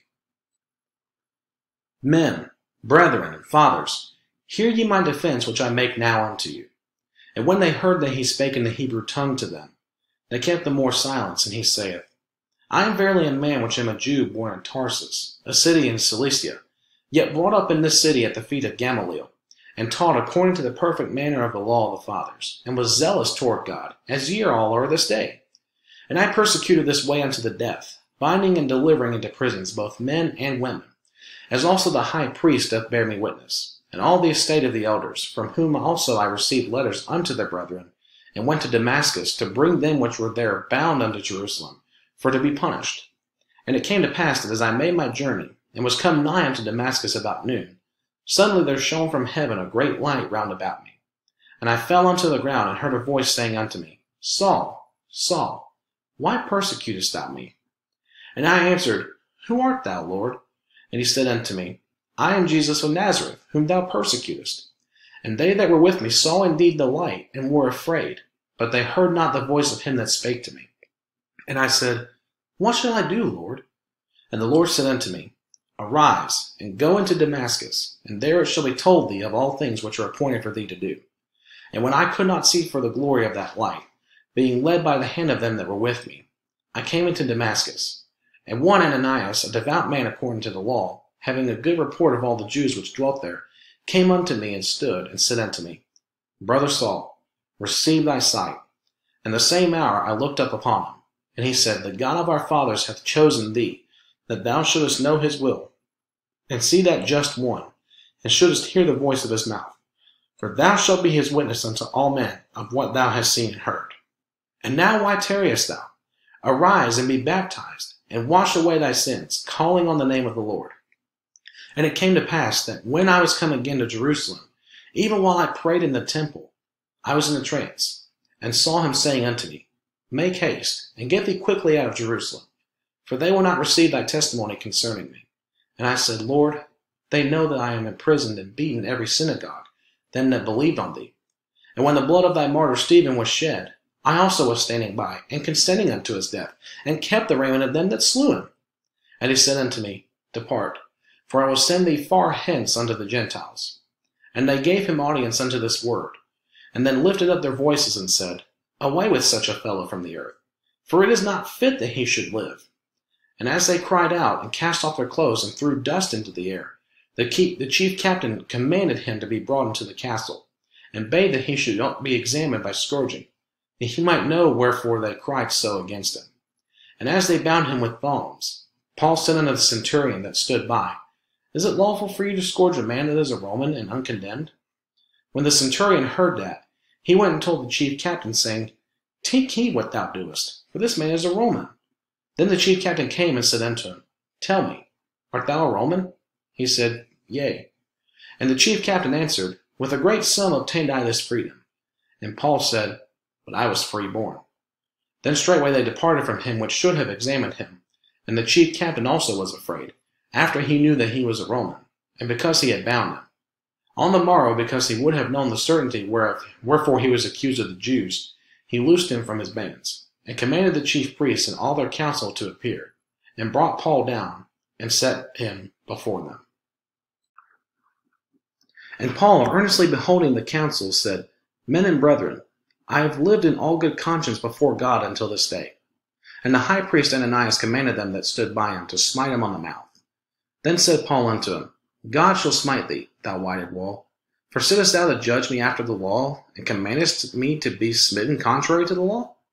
And they that stood by said, Revilest thou God's high priest? Then said Paul, I wist not, brethren, that he was the high priest, for it is written, Thou shalt not speak evil of the ruler of thy people. But when Paul perceived that the one part were Sadducees and the other Pharisees, he cried out in the council, Men and brethren, I am a Pharisee, the son of a Pharisee.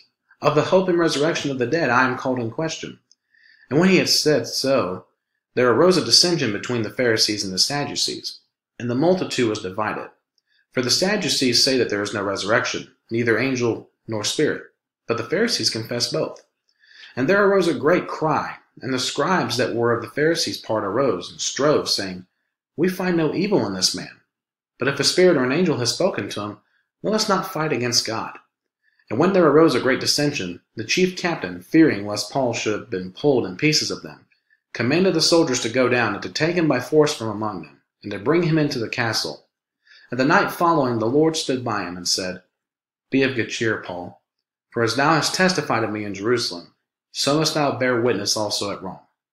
And when it was day, certain of the Jews banded together and bound themselves under a curse, saying that they would neither eat nor drink till they had killed Paul and, and they were more than forty which had made this conspiracy.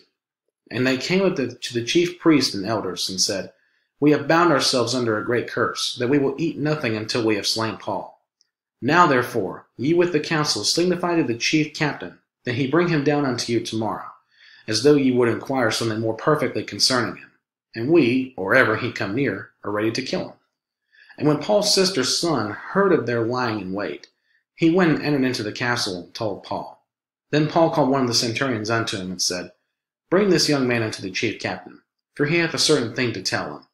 So he took him and brought him to the chief captain, and said, Paul the prisoner called me unto him, and prayed me to bring this young man unto thee, who hath something to say unto thee. Then the chief captain took him by the hand, and went with him aside privately, and asked him, What is that thou hast to tell me? And he said, The Jews have agreed to desire thee that thou wouldest bring down Paul tomorrow unto the council as though they would inquire somewhat of him more perfectly. But do not thou yield unto them, for there lie in wait for him of them more than forty men, which have bound themselves with an oath, that they will neither eat nor drink till they have killed him. And now are they ready, looking for a promise from thee. So the chief captain then let the young man depart, and charged him, See thou tell no man that thou hast showed these things to me. And he called unto him two centurions, saying, Make ready two hundred soldiers to go to Caesarea and horsemen threescore and ten, and spearmen two hundred, at the third hour of the night. And provide them beasts that they may set Paul on, and bring him safe unto Felix the governor. And he wrote a letter after this manner. Claudius Lysias unto the most excellent governor Felix sendeth greeting. This man was taken of the Jews, and should have been killed of them. Then came I with an army, and rescued him, having understood that he was a Roman. And when I would have known the cause wherefore they accused him, I brought him forth into their council, whom I perceived to be accused of questions of their law, but to have nothing laid to his charge worthy of death or of bonds. And when it was told me how that the Jews had laid, laid, laid wait for this man, I sent straightway to thee, and gave commandment to his accusers, also to say before thee what they had against him. Farewell. Then the soldiers, as it was commanded them, took Paul and brought him by night to Antipatris. On the morrow they left the horsemen to go with them, and returned to the castle, who, when they were came to Caesarea, and delivered the epistle to the governor, presented Paul also before him. And when the governor had read the letter, he asked of what province he was. And when he understood that he was of Cilicia, I will hear thee, said he, when thine accusers also are come. And he commanded him to be kept in Herod's judgment hall. And after five days, Ananias the high priest descended with the elders, and with a certain orator named Tertullus, who informed the governor against Paul. And when he was called forth, Tertullus began to accuse him, saying, Seeing that by thee we enjoy great quietness, and that very worthy deeds are done unto this nation by thy providence, we accept it always and in all places, most noble Felix, with all thankfulness. Notwithstanding that I be not further tedious unto thee, I pray thee that thou wouldest hear of us of thy clemency a few words. For we have found this man a pestilent fellow, and a mover of sedition among all the Jews throughout the world, and a ringleader of the sect of the Nazarenes, who also hath gone about to profane the temple whom we took and would have judged according to our law. But the chief captain Lysias came upon us, and with great violence took him away out of our hands, commanding his accusers to come unto thee, by examining of whom thyself makest take knowledge of all these things, whereof we accuse him. And the Jews also assented, saying that these things were so. Then Paul, after that the governor had beckoned unto him to speak, answered, Forasmuch as much as I know that thou hast been of many years a judge unto this nation, I do the more cheerfully answer for myself, because that thou mayest understand that there are yet but twelve days since I went up to Jerusalem for to worship.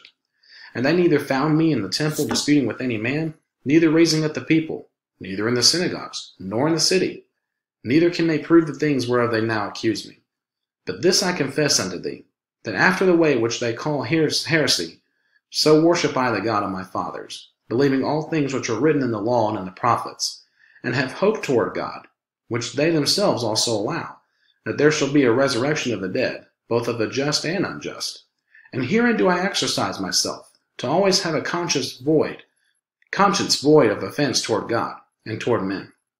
Now after many years I came to bring alms to my nation and offerings. Whereupon certain Jews from Asia found me purified in the temple, neither with multitude nor with tumult, who ought to have been here before thee, and object if they had aught against me. Or else let these same here say, if they have found any evil doing in me while I stood before the council, except it be for this one voice that I cried standing among them, touching the resurrection of the dead, I am called in question by you this day. And when Felix heard these things, having more perfect knowledge of that way, he deferred them and said, When Lysias the chief captain shall come down, I will know the uttermost of your matter. And he commanded the centurion to keep Paul and to let him have liberty, and that he should not forbid none of his acquaintance to minister or come unto him. And after certain days, when Felix came with his wife Drusilla, which was a Jewess, he sent for Paul, and heard him concerning the faith in Christ. And as he reasoned of righteousness, temperance, and judgment to come, Felix trembled and answered, Go thy way for this time. When I have a convenient season, I will call for thee. He hoped also that money should have been given him of Paul, and that he might loose him. Wherefore he sent for him the oftener, and communed with him. But after two years, Porcius Festus came into Felix's room. And Felix, willing to show the Jews a pleasure, left Paul bound. Now when Festus was come into the province after three days, he ascended from Caesarea to Jerusalem. Then the high priest and the chief of the Jews informed him against Paul and besought him, and desired favor against him, that he would send for him to Jerusalem, laying wait in a way to kill him. But Festus answered that Paul should be kept at Caesarea, and that he himself would depart shortly thither. Let them therefore, said he, which among you are able, Go down with me, and accuse this man, if there be any wickedness in him. And when he had tarried among them more than ten days, he went down unto Caesarea, and the next day, sitting on the judgment seat, commanded Paul to be brought. And when he was come, the Jews which came down from Jerusalem stood round about, and laid many and grievous complaints against Paul, which they could not prove. While he answered for himself, Neither against the law of the Jews, neither against the temple, nor yet against Caesar, have I offended anything at all. But Festus, willing to do the Jews a pleasure, answered Paul, and said, Wilt thou go up to Jerusalem, and there be judged of these things before me? Then said Paul, I stand at Caesar's judgment seat, where I ought to be judged. To the Jews have I done no wrong, as thou very well knowest. For if I be an offender, or have committed anything worthy of death, I refuse not to die. But if there be none of these things whereof these accuse me, no man may deliver me unto them. I appeal unto Caesar. Then Festus, when he had conferred with the council, answered, Hast thou appealed unto Caesar? Unto Caesar shalt thou go. And after certain days, King Agrippa and Bernice came unto Caesarea to salute Festus. And when they had been there many days, Festus declared Paul's cause unto the king, saying, There is a certain man left in bonds by Felix, about whom when I was at Jerusalem, the chief priests and the elders of the Jews informed me, desiring to have judgment against him. To whom I answered, It is not the manner of the Romans to deliver any man to die, before that he which is accused have the accusers face to face, and have license to answer for himself concerning the crime laid against him. Therefore, when they were come hither, without any delay on the morrow, I sat on the judgment seat, and commanded the man to be brought forth. Against whom, when the accusers stood up, they brought none of accus- accusation of such things as I supposed, but had certain questions against him of their own superstition, and of one Jesus which was dead, whom Paul affirmed to be alive. And because I doubted of such manner of questions, I asked him whether he would go to Jerusalem, and there be judged of these matters. But when Paul had appealed to be reserved unto the hearing of Augustus, I commanded him to be kept till I might send him to Caesar. Then Agrippa said unto Festus, I would also hear the man myself. Tomorrow, said he, thou shalt hear. And on the morrow, when Agrippa was come, and Bernice, with great pomp, and was entered into the place of hearing, with the chief captains, and the principal men of the city, at Festus' commandment, Paul was brought forth. And Festus said, King Agrippa, excuse me, King Agrippa, and all men which are here present with us. Ye see this man about whom all the multitude of the Jews have dealt with me, both at Jerusalem and also here, crying that he ought not to live any longer. But when I found that he had committed nothing worthy of death, and that he himself hath appealed to Augustus, I have determined to send him, of whom I have no certain thing to write unto my Lord. Wherefore I have brought him forth before you, and specially before thee, O King Agrippa, that after examination had, I might have somewhat to write. For it seemeth to me unreasonable to send a prisoner, and not withal to signify the crimes laid against him. Then Agrippa said unto Paul, Thou art permitted to speak for thyself. Then Paul stretched forth the hand and answered for himself.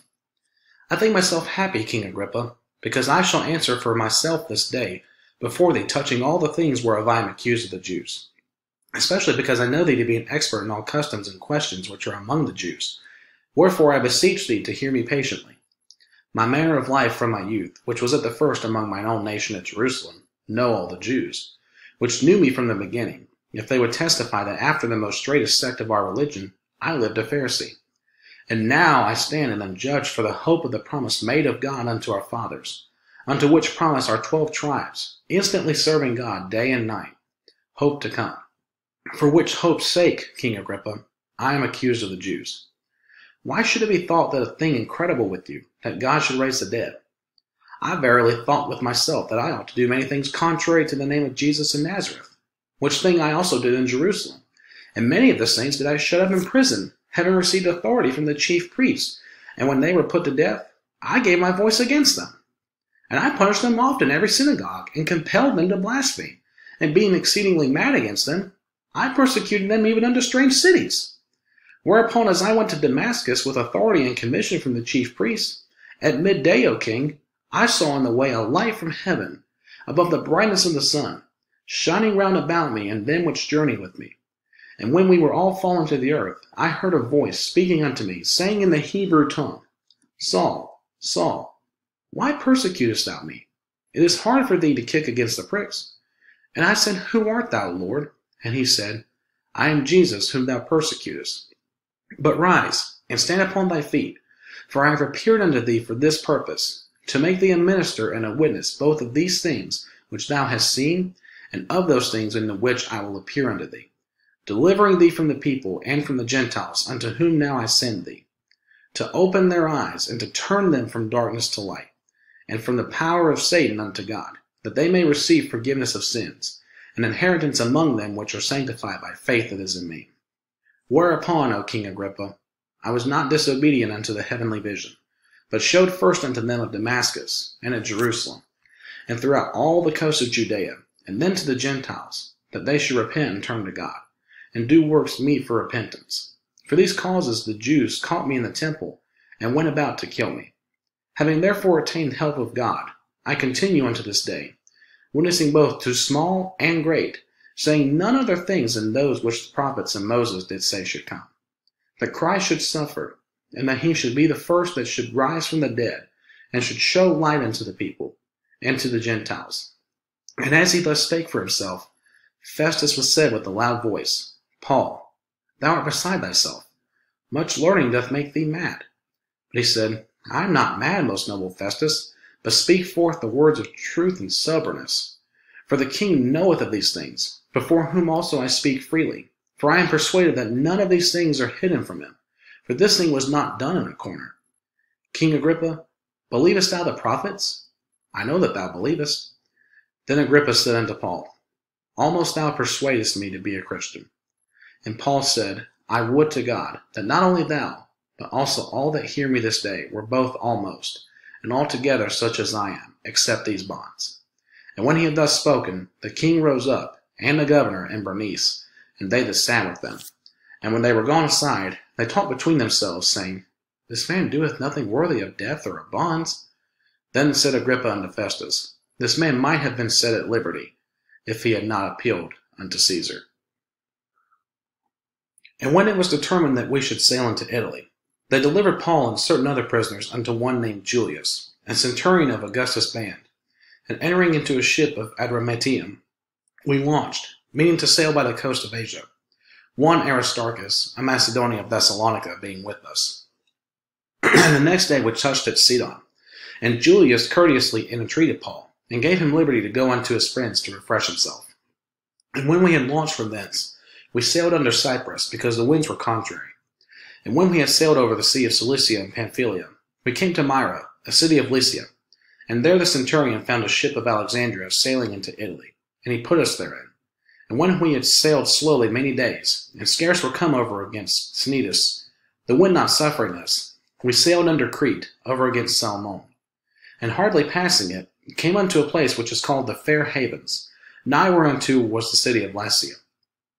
Now when much time was spent, and when sailing was now dangerous, because the fast was now already past, Paul admonished them and said unto them, Sirs, I perceive that this voyage will be with hurt and much damage, not only of the lading ship, but also of our lives. Nevertheless, the centurion believed the master and the owner of the ship more than those things which were spoken by Paul. And because the haven was not commodious to winter in, the more part advised to depart thence also, if by any means they might attain, attain to Phenice, and there to winter, which is an haven of Crete, and lieth toward the southwest and northwest. And when the south wind blew softly, supposing that they had obtained their purpose, loosing thence, they sailed close by Crete. But not long after there arose a great against it, a tempestuous wind, called Euroclydon. And when the ship was caught, and could not bear up into the wind, we let her drive. And running under a certain island which is called Clauda, we had much work to come by the boat, which when they had taken up, they used helps, undergirding the ship, and fearing lest they should fall into the quicksands, strake sail, and so were driven. And we being exceedingly tossed with a tempest, the next day they lightened the ship. And the third day we cast out with our own hands the tackling of the ship. And when neither sun nor stars in many days appeared, and no small tempest lay on us, all hope that we should be saved was then taken away.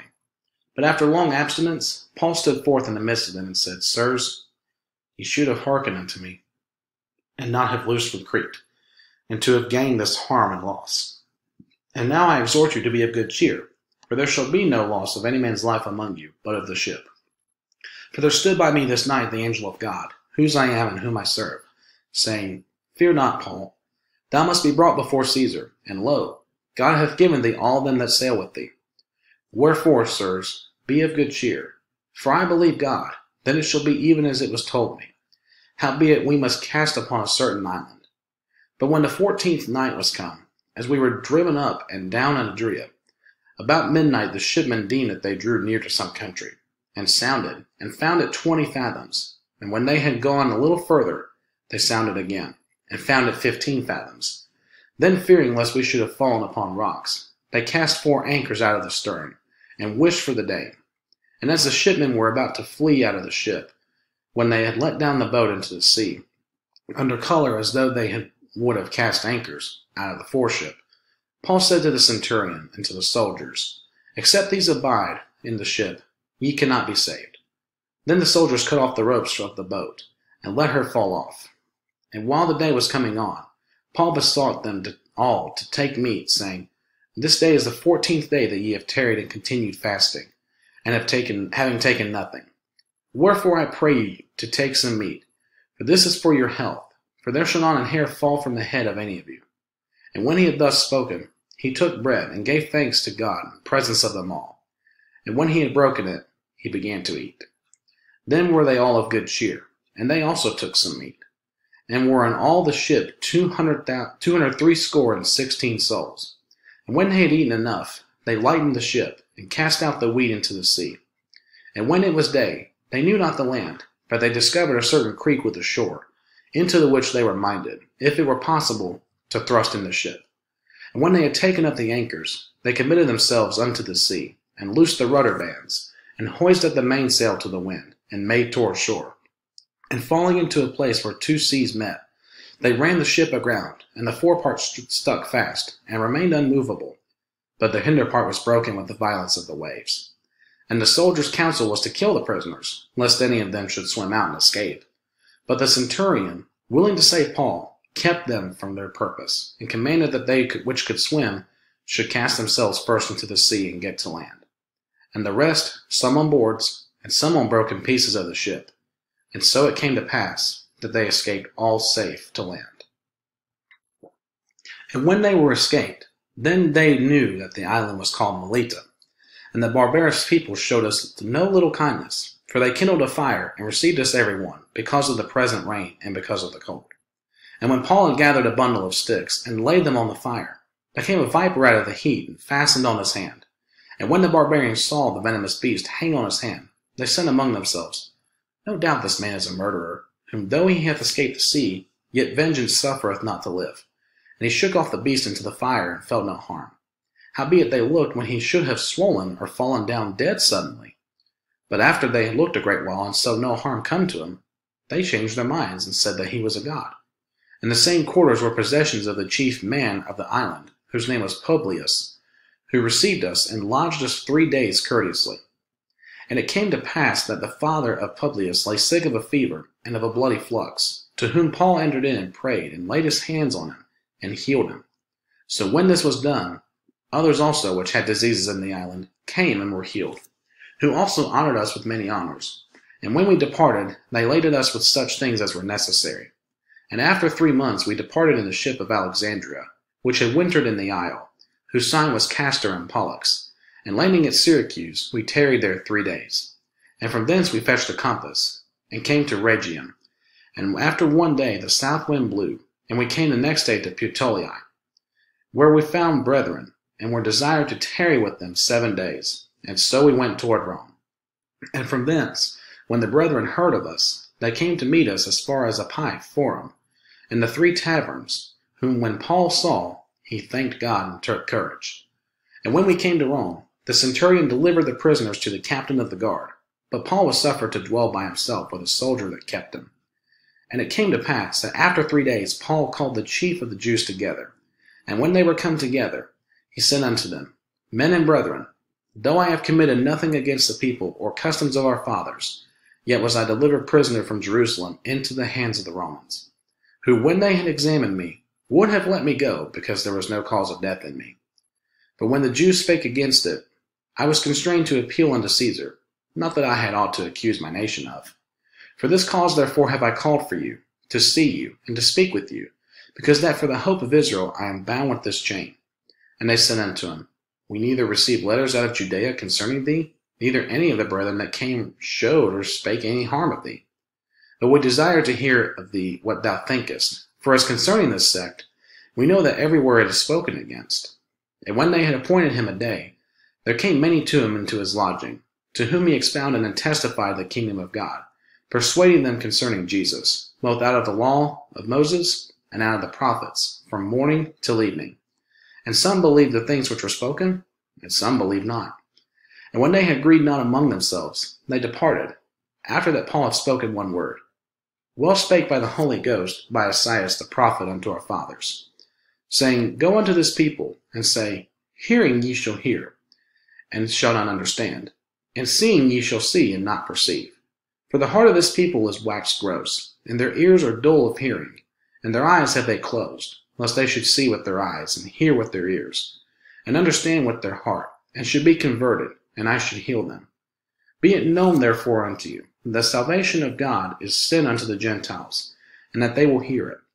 And when he had said these words, the Jews departed, and had great reasoning among themselves. And Paul dwelt two whole years in his own hired house, and received all that came in unto him, preaching the kingdom of God, and teaching those things which concern the Lord Jesus Christ, with all confidence, no man forbidding him.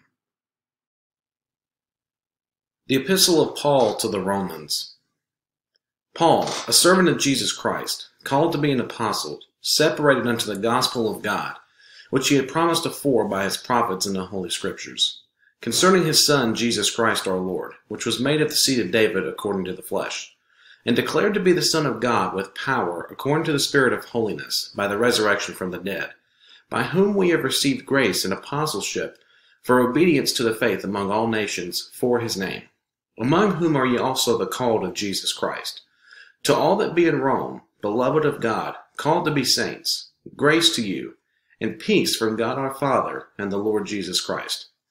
First, I thank my God through Jesus Christ for you all, that your faith is spoken of throughout the whole world.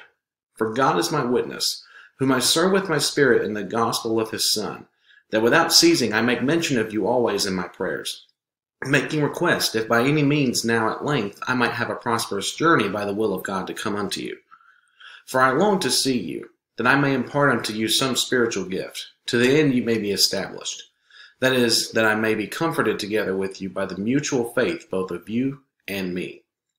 Now I would not have you ignorant, brethren, that oftentimes I purposed to come unto you, but was let hitherto, that I might have some fruit among you also, even as among other Gentiles. I am debtor both to the Greeks and to the barbarians, both to the wise and to the unwise. So, as much as in me is, I am ready to preach the gospel to you that are in, at Rome also. For I am not ashamed of the gospel of Christ, for it is the power of God unto salvation to every one that believeth, to the Jew first and also to the Greek. For therein is the righteousness of God revealed from faith to faith, as it is written, The just shall live by faith. For the wrath of God is revealed from heaven against all ungodliness and unrighteousness of men, who hold the truth in unrighteousness, because that which may be known of God is manifest in them, for God hath showed it unto them.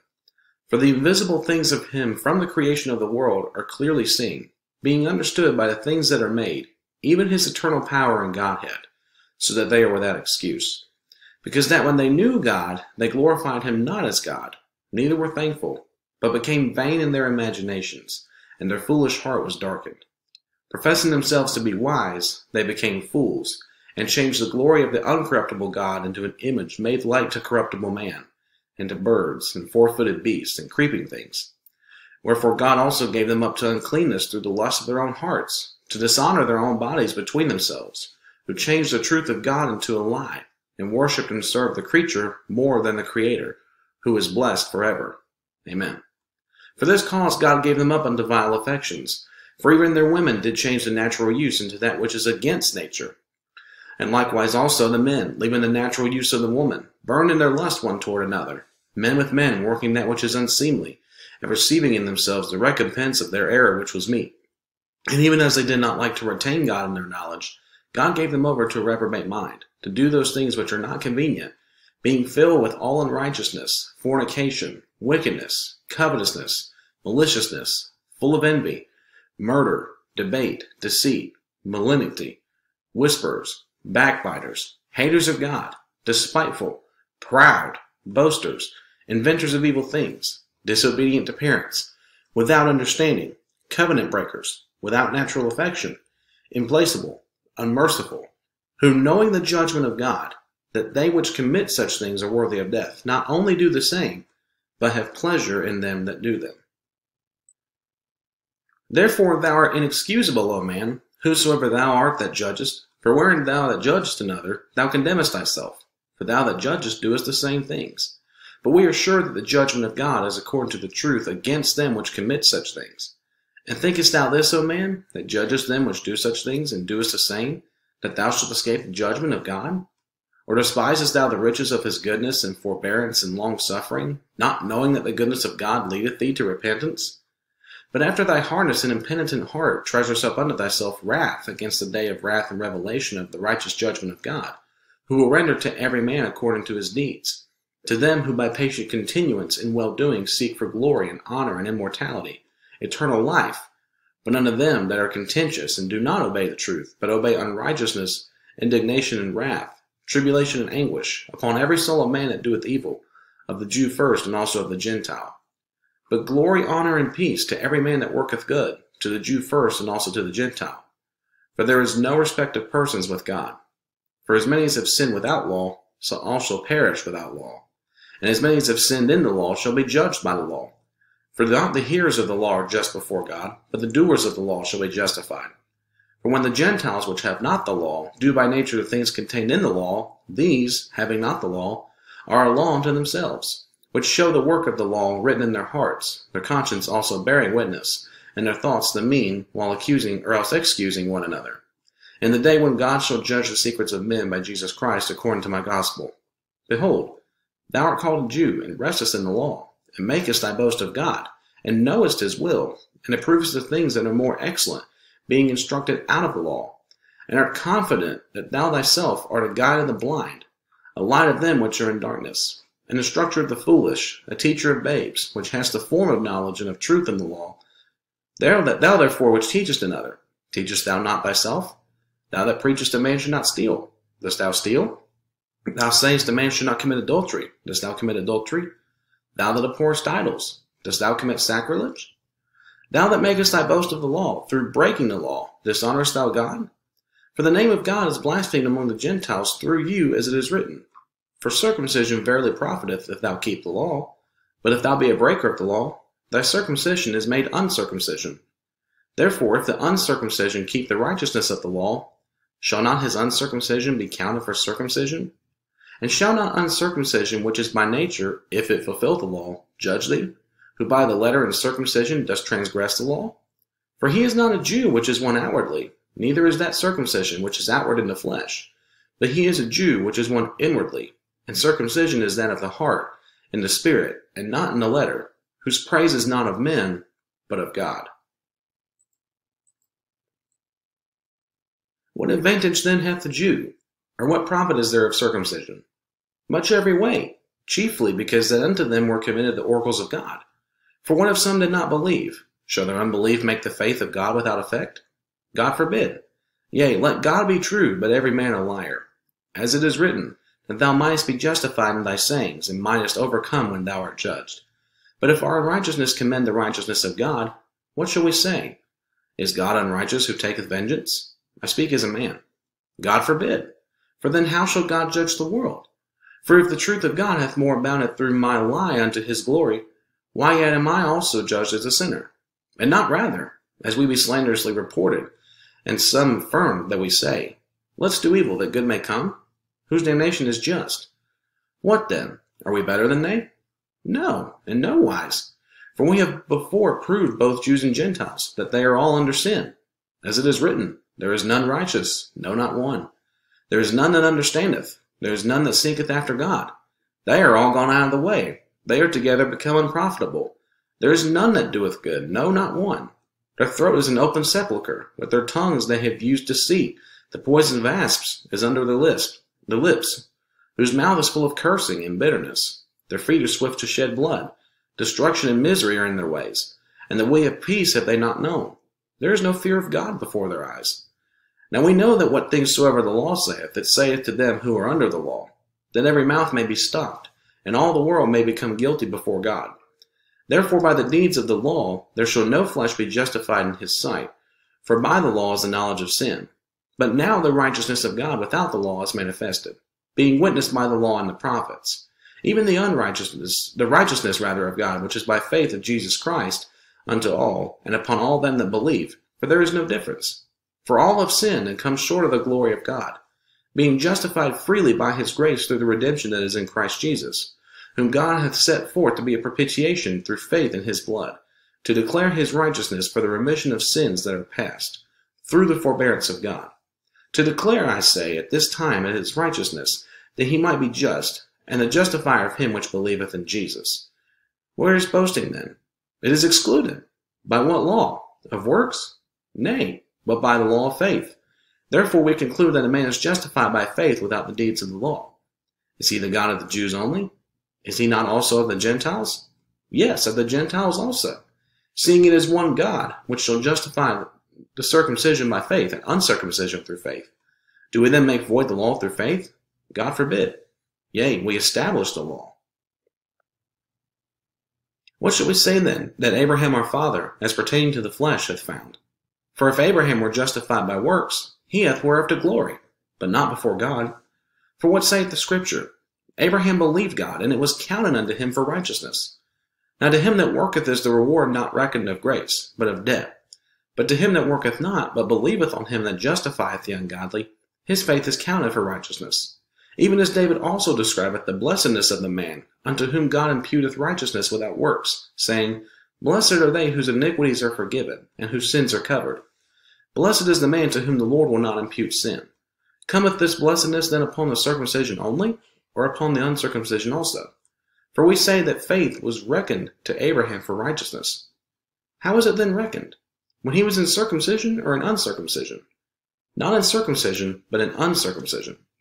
And he received the sign of circumcision, a seal of the righteousness of the faith which he had, yet being uncircumcised that he might be the father of all them that believe, though they be not circumcised, that righteousness might be imputed unto them also, and the father of circumcision to them who are not of the circumcision only, but who also walk in the steps of that faith of our father Abraham, which he had being yet uncircumcised. For the promise that he should be the heir to the world, the heir of the world rather, was not to Abraham or to his seed through the law, but through the righteousness of faith. For if they which are of the law be heirs, faith is made void, and the promise made of none effect, because the law worketh wrath. For where no law is, there is no transgression. Therefore it is of faith, that it might be by grace, to the end the promise might be sure to all the seed, not to that only which is of the law, but to that also which is of the faith of Abraham, who was the father of us all. As it is written, I have made thee a father of many nations before him whom he believed, even God, who quickeneth the dead, and calleth those things which be not as though they were. Who against hope believed in hope, that he might become the father of many nations, according to that which was spoken, So shall thy seed be. And being not weak in faith, he considered not his own body, now dead, when he was about a hundred years old, neither yet the deadness of Sarah's womb. He staggered not at the promise of God through unbelief, but was strong in faith, giving glory to God, and being fully persuaded that what he had promised, he was able also to perform. And therefore it was imputed to him for righteousness. And it was not written for his sake alone, that it was imputed to him, but for us also, to whom it shall be imputed, if we believe on him that raised up Jesus our Lord from the dead, who was delivered for our offenses, and was raised again for our justification. Therefore, being justified by faith, we have peace with God through our Lord Jesus Christ, by whom also we have access by faith into this grace wherein we stand, and rejoice in hope of the glory of God. And not only so, but we glory in tribulations also, knowing that tribulation worketh patience, and patience experience, and experience hope. And hope maketh not ashamed, because the love of God is shed abroad in our hearts by the Holy Ghost, which is given unto us. For when we were yet without strength, in due time Christ died for the ungodly. For scarcely for a righteous man will one die, yet peradventure for a good man some would even dare to die. But God commendeth his love toward us, in that while we were yet sinners, Christ died for us. Much more than being now justified by his blood, we shall be saved from wrath through him. For if, when we were enemies, we were reconciled to God by the death of his Son, much more being reconciled, we shall be saved by his life. And not only so, but we also joy in God through our Lord Jesus Christ, by whom we have now received the atonement. Wherefore, as by one man sin entered into the world, and death by sin, and so death passed upon all men, for that all have sinned. For until the law, sin was in the world, but sin is not imputed when there is no law. Nevertheless, death reigned from Adam to Moses, even over them that had not sinned after the similitude of Adam's transgression, who was the figure of him that was to come. But not as the offense, so also is the free gift. For if through the offense of one many be dead, much more the grace of God, and the gift by grace, which is by one man, Jesus Christ, hath abounded unto many. And not as it was by one that sinned, so is the gift. For the judgment was by one to condemnation, but the free gift is of many offenses unto justification. For if by one man's offense death reigned by one, much more they which receive abundance of grace and of the gift of righteousness shall reign in life by one. Jesus Christ. Therefore, as by the offense of one judgment came upon all men to condemnation, even so by the righteousness of one the free gift came upon all men unto justification of life. For as by one man's disobedience many were made sinners, so by the obedience of one shall many be made righteous. Moreover, the law entered, that the offense might abound. But where sin abounded, grace did much more abound. That as sin hath reigned unto death, even so might grace reign through righteousness unto eternal life by Jesus Christ our Lord. What shall we say then? Shall we continue in sin that grace may abound? God forbid. How shall we that are dead to sin live any longer therein? Know ye not that so many of us as were baptized into Jesus Christ were baptized into his death? Therefore we are buried with him by baptism into death, that like as Christ was raised up from the dead by the glory of the Father, even so we also should walk in newness of life. For if we have been planted together in the likeness of his death, we shall also be also in the likeness of his resurrection. Knowing this, that our old man is crucified with him, that the body of sin might be destroyed, that henceforth we should not serve sin. For he that is dead is freed from sin. Now if we be dead with Christ, we believe that we shall also live with him, knowing that Christ, being raised from the dead, dieth no more. Death hath no more dominion over him. For in that he died, he died unto sin once, but in that he liveth, he liveth unto God. Likewise, reckon ye also yourselves to be dead indeed unto sin, but alive unto God through Jesus Christ our Lord. Let not sin therefore reign in your immortal body, that ye should obey it in the lust thereof. Neither yield ye your members as instruments of unrighteousness unto sin, but yield yourselves unto God as those that are alive from the dead, and your members as instruments of righteousness unto God. For sin shall not have dominion over you. For ye are not under the law, but under grace. What then? Shall we sin because we are not under the law, but under grace? God forbid. Know ye not that to whom ye yield yourselves servants to obey, his servants ye are to whom ye obey, whether of sin unto death, or of obedience unto righteousness? But God be thanked, that ye were the servants of sin, but ye have obeyed from the heart that form of doctrine which was delivered you. Being then made free from sin, ye became the servants of righteousness. I speak after the manner of men because of the infirmity of your flesh.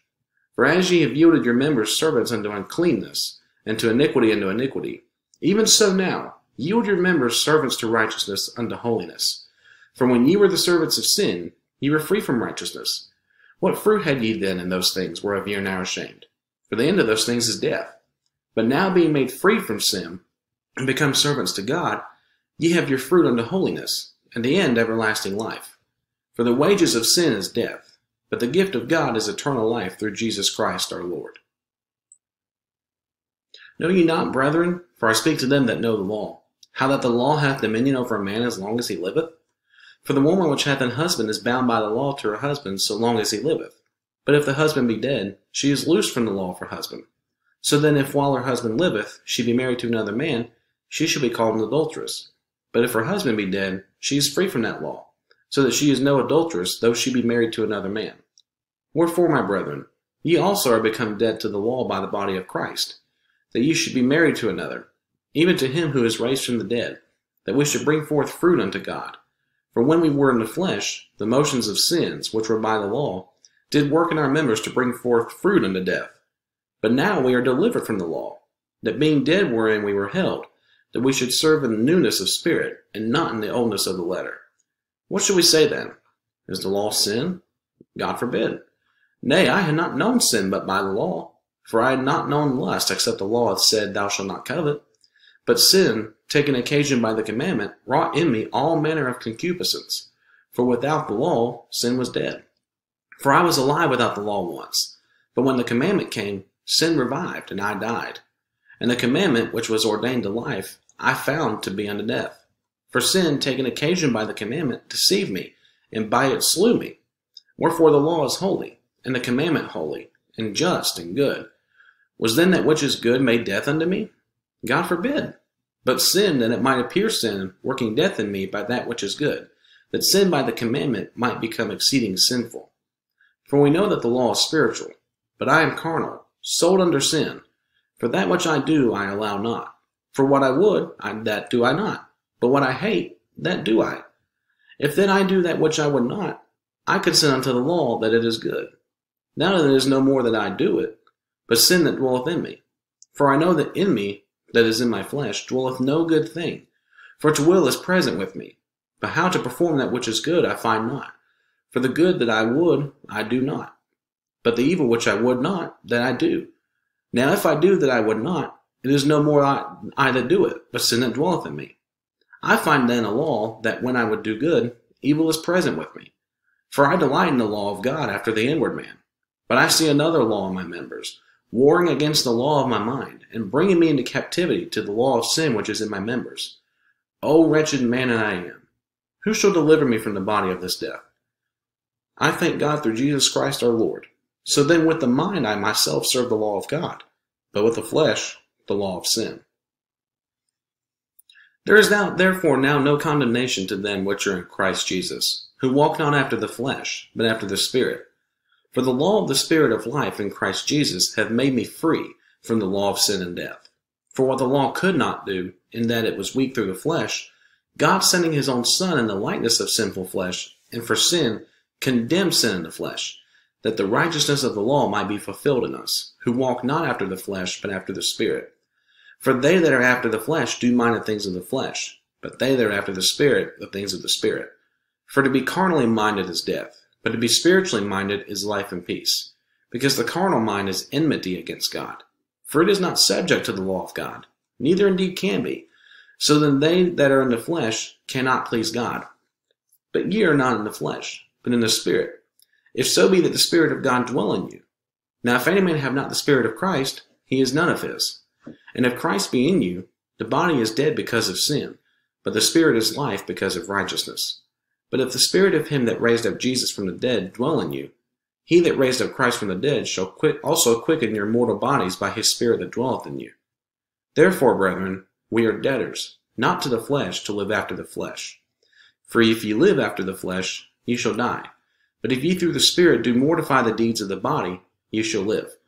For as many as are led by the Spirit of God, they are the sons of God. For ye have not received the spirit of bondage again to fear, but ye have received the spirit of adoption, whereby we cry, Abba, Father. The Spirit itself beareth witness with our spirit, that we are the children of God. And if children, then heirs, heirs of God, and joint heirs with Christ, if so be that we suffer with him, that we may be also glorified together. For I reckon that the sufferings of this present time are not worthy to be compared with the glory which shall be revealed in us. For the earnest expectation of the creature waiteth for the manifestation of the sons of God. For the creature was made subject to vanity, not willingly, but by reason of him who hath subjected the same in hope. Because the creature itself also shall be delivered from the bondage of corruption into the glorious liberty of the children of God. For we know that the whole creation groaneth and travaileth in pain together until now. And not only they, but ourselves also, which have the first fruits of the Spirit, even we ourselves groan within ourselves, waiting for the adoption, to wit, the redemption of our body. For we are saved by hope, but hope that is seen is not hope. For what a man seeth, why doth he yet hope for? But if we hope for that we see not, then do we with patience wait for it. Likewise the Spirit also helpeth our infirmities. For we know that not what we should pray for as we ought, but the Spirit itself maketh intercession for us with groanings which cannot be uttered. And he that searcheth the hearts knoweth what is the mind of the Spirit, because he maketh intercession for the saints according to the will of God. And we know that all things work together for good to them that love God, to them who are the called according to his purpose. For whom he did foreknow, he also did predestinate to be conformed to the image of his Son, that he might be the firstborn among many brethren. Moreover, whom he did predestinate, them he also called. And whom he called, them he also justified. And whom he justified, them he also glorified. What shall we say then to these things? If God be for us, who can be against us? He that spared not his own Son, but delivered him up for us all, how shall he not with him also freely give us all things? Who shall lay anything to the charge of God's elect? It is God that justifieth. Who is he that condemneth? It is Christ that died, yea, rather that is risen again, who is even at the right hand of God, who also maketh intercession for us. Who shall separate us from the love of Christ? Shall tribulation, or distress, or persecution, or famine, or nakedness, or peril, or sword? As it is written, For thy sake we are killed all the day long. We are counted as sheep for the slaughter. Nay, in all these things we are more than conquerors through him that loved us. For I am persuaded that neither death, nor life, nor angels, nor principalities, nor powers, nor things present, nor things to come, nor height, nor depth, nor any other creature shall be able to separate us from the love of God, which is in Christ Jesus our Lord. I say the truth in Christ. I lie not. My conscience also bearing me witness in the Holy Ghost, that I have great heaviness and continual sorrow in my heart. For I could wish that myself were accursed from Christ from my brethren, my kinsmen according to the flesh, who are Israelites, to whom pertaineth the adoption, and the glory, and the covenants, and the giving of the law, and the service of God, and the promises, whose are the fathers, and of whom is concerned the flesh Christ came, who is over all, God blessed forever. Amen. Not as though the word of God hath taken none effect. For they are not all Israel which are of Israel. Neither, because they are the seed of Abraham, are they all children. But in Isaac shall thy seed be called.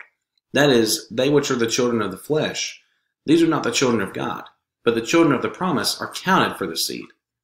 For this is the word of promise At this time will I come, and Sarah shall have a son. And not only this, but when Rebecca also had conceived by one, even by her father Isaac, for the children being not yet born, neither having done any good or evil, that the purpose of God according to election might stand, not of works, but of him that calleth. It was said unto her, The elder shall serve the younger. As it is written, Jacob have I loved, but Esau have I hated. What shall we say then? Is there unrighteousness with God? God forbid. For he saith to Moses, I will have mercy on whom I will have mercy, and I will have compassion on whom I will have compassion. So then it is not of him that willeth, nor of him that runneth, but of God that showeth mercy. For the scripture saith unto Pharaoh, Even for this same purpose have I raised thee up, that I might show my power in thee, and that my name might be declared throughout all the earth. Therefore hath he mercy on whom he will have mercy, and whom he will he hardeneth. Thou wilt say then unto me, Why doth he yet find fault? For who hath resisted his will? Nay, but, O man, who art thou that repliest against God? Shall a thing formed say to him that formed it, Why hast thou made me thus? Hath not the potter power over the clay, of the same lump to make one vessel unto honor, and another unto dishonor?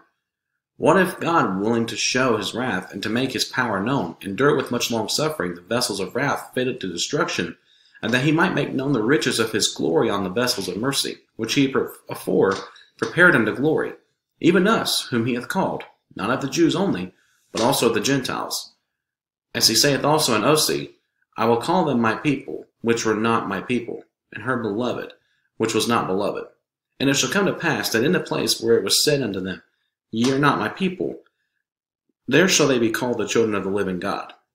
Esaias also crieth concerning Israel, Though the number of the children of Israel be as the sand of the sea, a remnant shall be saved. For he will finish the work, and cut it short in righteousness, because a short work will, make, will, will the Lord make upon the earth. And as Isaiah said before, except the Lord of Sabaoth have left us a seed, we have been as Sodom, and been made like unto Gomorrah. What shall we say then? That the Gentiles which follow not after righteousness have attained to righteousness, even the righteousness which is of faith.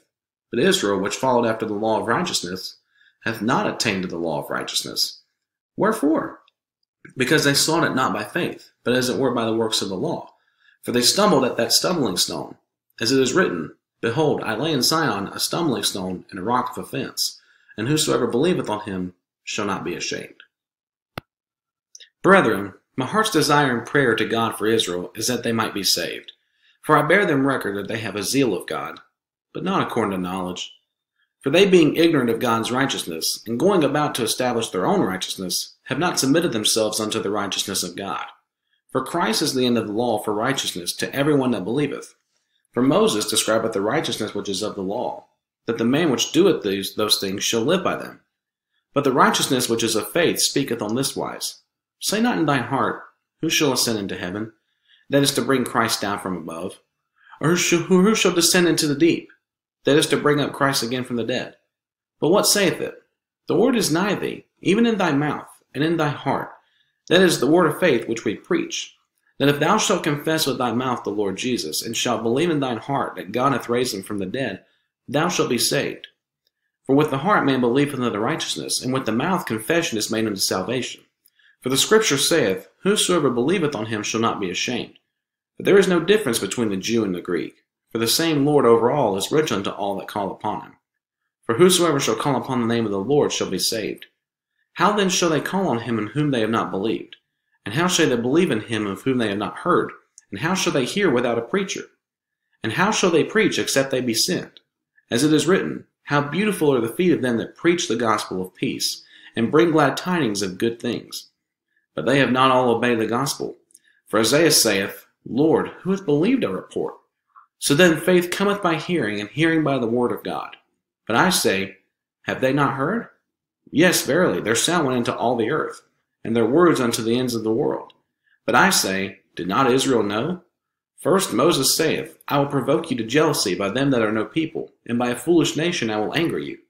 But Esaias is very bold, and saith, I was found of them that sought me not. I was made manifest unto them that asked not after me. But to Israel he saith, All day long have I stretched forth my hands unto a disobedient and gainsaying people. I say then, Hath God cast away his people? God forbid. For I also am an Israelite, of the seed of Abraham, of the tribe of Benjamin. God hath not cast away his people which he foreknew.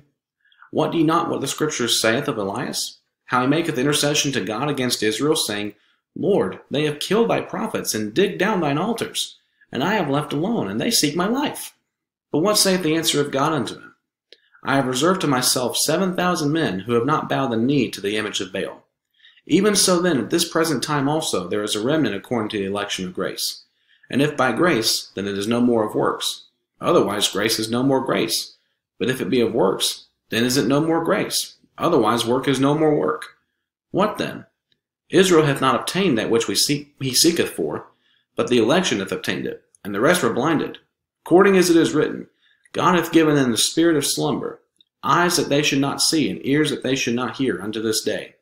And David saith, Let their table be made a snare and a trap, and a stumbling block, and a recompense unto them. Let their eyes be darkened, that they may not see, and bow down their back alway. I say then, have they stumbled that they should fall? God forbid. But rather through their fall salvation is come unto the Gentiles, for to provoke them to jealousy. Now if the fall of them be the riches of the world, and the diminishing of them the riches of the Gentiles, how much more their fullness? For I speak to you Gentiles, inasmuch as I am the apostle of the Gentiles. I magnify mine office, if by any means I may provoke to emulation them which are my flesh, and might save some of them. For if the casting away of them be the reconciling of the world, what shall the receiving of them be, but life from the dead? For if the first fruit be holy, the lump is also holy. And if the root be holy, so are the branches. And if some of the branches be broken off, and thou, being a wild olive tree, were grafted in among them, and with them partakest of the root and fatness of the olive tree, boast not against the branches. But if thou boast, thou bearest not the root, but the root thee. Thou wilt say then, The branches were broken off, that I might be grafted in. Well, because of unbelief they were broken off. And thou standest by faith. Be not high minded, but fear. For if God spare not the natural branches, take heed lest he also spare not thee. Behold therefore the goodness and severity of God. On them which fell, severity, but toward thee, goodness, if thou continue in his goodness. Otherwise thou also shalt be cut off. And they also, if they abide not still in unbelief, shall be grafted in. For God is able to graft them in again. For if thou wert cut off out of the olive tree, which is wild by nature, and were grafted contrary to nature into a good olive tree, how much more shall these, which be the natural branches, be grafted into their own olive tree? For I would not, brethren, that ye should be ignorant of this mystery, lest you should be wise in your own conceits, that blindness in part has happened to Israel, until the fullness of the Gentiles be come in. And so all Israel shall be saved, as it is written, There shall come out of Sion a deliverer, and shall turn away ungodliness from Jacob. For this is my covenant unto them, when I shall take away their sins. As concerning the gospel, they are enemies for your sakes, but as touching the election, they are beloved for the Father's sakes. For the gifts and calling of God are without repentance. For as ye in times past have not believed God, yet have now obtained mercy through their unbelief, even so have these also now not believed, that through your mercy they may also obtain mercy. For God hath concluded them all in unbelief, that he might have mercy upon all. Oh, the depth of the riches both of the wisdom and knowledge of God! How unsearchable are his judgments, and his ways past finding out. For who hath known the mind of the Lord? Or who hath been his counselor? Who hath first given to him, and it shall be recompensed unto him again? For of him, and through him, and to him are all things, to whom be glory forever. Amen. I beseech you, therefore, brethren, by the mercies of God, that ye present your bodies a living sacrifice, holy, acceptable unto God, which is your reasonable service. And be not conformed to this world, but be ye transformed by the renewing of your mind, that ye may prove what is that good and acceptable and perfect will of God. For I say, through the grace given unto me, to every man that is among you, not to think of himself more highly than he ought to think, but to think soberly, according as God hath dealt to every man the measure of faith. For as we have many members in one body, and all members have not the same office, so we, being many, are one body in Christ, and every one members one of another having then gifts differing according to the grace that is given to us, whether prophecy, let us prophesy according to the proportion of faith, or ministry, let us wait on our ministering, or he that teacheth on teaching, or he that exhorteth on exhortation, he that giveth, let him do it with simplicity, he that ruleth with diligence, he that showeth mercy with cheerfulness. Let love be without dissimulation. Abhor that which is evil, cleave to that which is good. Be kindly affection one to another with brotherly love, in honor preferring one another, not slothful in business, fervent in spirit, serving the Lord, rejoicing in hope, patient in tribulation, continuing instant in prayer, distributing to the necessity of saints, given to hospitality. Bless them which persecute you, bless and curse not. Rejoice with them that do rejoice, and weep with them that weep. Be of the same mind one toward another. Mind not the high things, but condescend to men of low estate. Be not wise in your own conceit. Recompense to no man evil for evil. Provide things honest in the sight of all men. If it be possible, as much as lieth in you, live peaceably with all men. Dearly beloved, avenge not yourselves, but rather give place unto wrath. For it is written, Vengeance is mine, I will repay, saith the Lord. Therefore, if thine enemy hunger, feed him. If he thirst, give him drink. For in so doing thou shalt heap coals of fire on his head. Be not overcome of evil, but overcome evil with good. Let every soul be subject unto the higher powers, for there is no power but of God. The powers that be are ordained of God. Whosoever therefore resisteth the power resisteth the ordinance of God, and they that resist shall receive to themselves damnation. For rulers are not a terror to good works, but to the evil. Wilt thou then not be afraid of the power? Do that which is good, and thou shalt have praise of the same. For he is the minister of God to thee for good. But if thou do that which is evil, be afraid, for he beareth not the sword in vain. For he is the minister of God, a revenger to execute wrath upon him that doeth evil. Wherefore ye must needs be subject, not only for wrath, but also for conscience sake. For for this cause pay ye tribute also, for they are God's ministers, attending continually upon this very thing. Render therefore to all their dues, tribute to whom tribute is due, custom to whom custom, fear to whom fear, honor to whom honor. Owe no man anything, but to love one another, for he that loveth another hath fulfilled the law. For this, thou shalt not commit adultery, thou shalt not kill, thou shalt not steal, thou shalt not bear false witness, thou shalt not covet. And if there be any other commandment, it is briefly comprehended in this saying, namely, Thou shalt love thy neighbor as thyself. Love worketh no ill to his neighbor. Therefore love is the fulfilling of the law. And that knowing the time, that now it is high time to awake out of sleep, for now is our salvation nearer than we believed. The night is far spent, the day is at hand. Let us therefore cast off the works of darkness, and let us put on the armor of light. Let us walk honestly as in the day, not in rioting and drunkenness, not in chambering and wantonness, not in strife and envying, but put ye on the Lord Jesus Christ, and make not provision for the flesh to fulfill the lust thereof.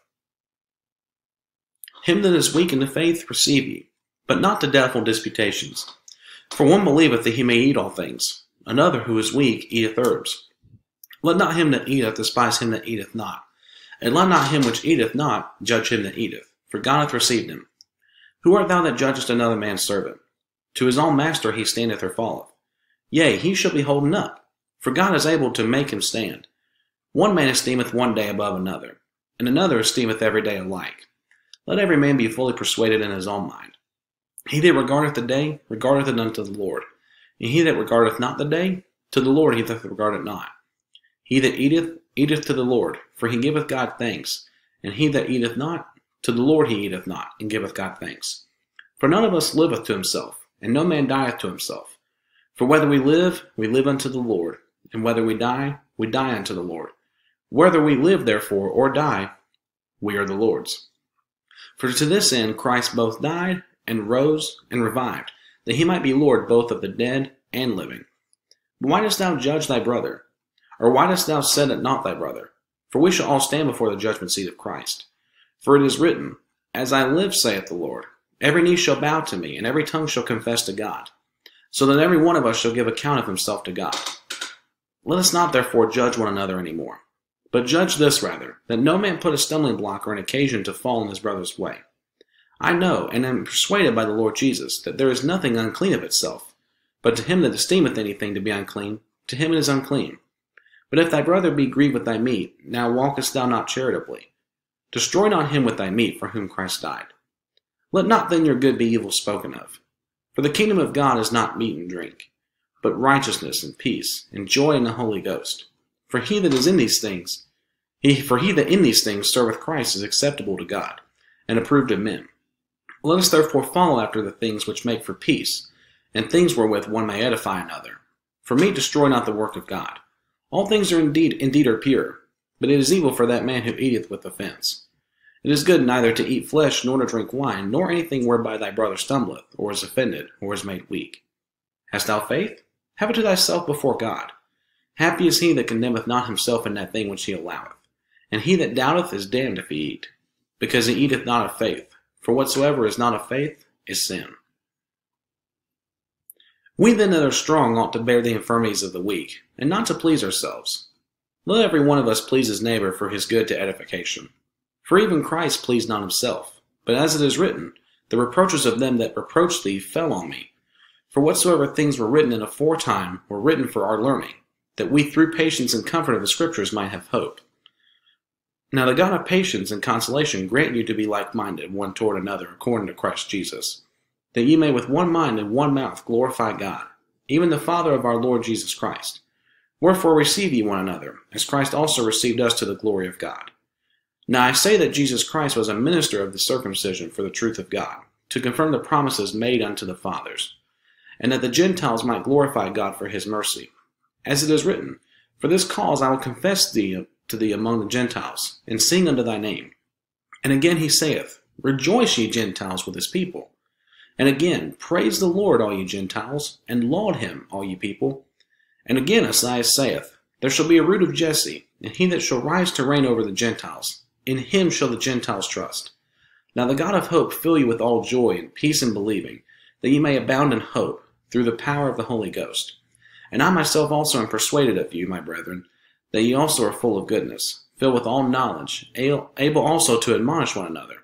Nevertheless, brethren, I have written the more boldly unto you in some sort, as putting you in mind, because of the grace that is given to me of God, that I should be the minister of Jesus Christ to the Gentiles, ministering the gospel of God, that the offering up of the Gentiles might be acceptable, being sanctified by the Holy Ghost.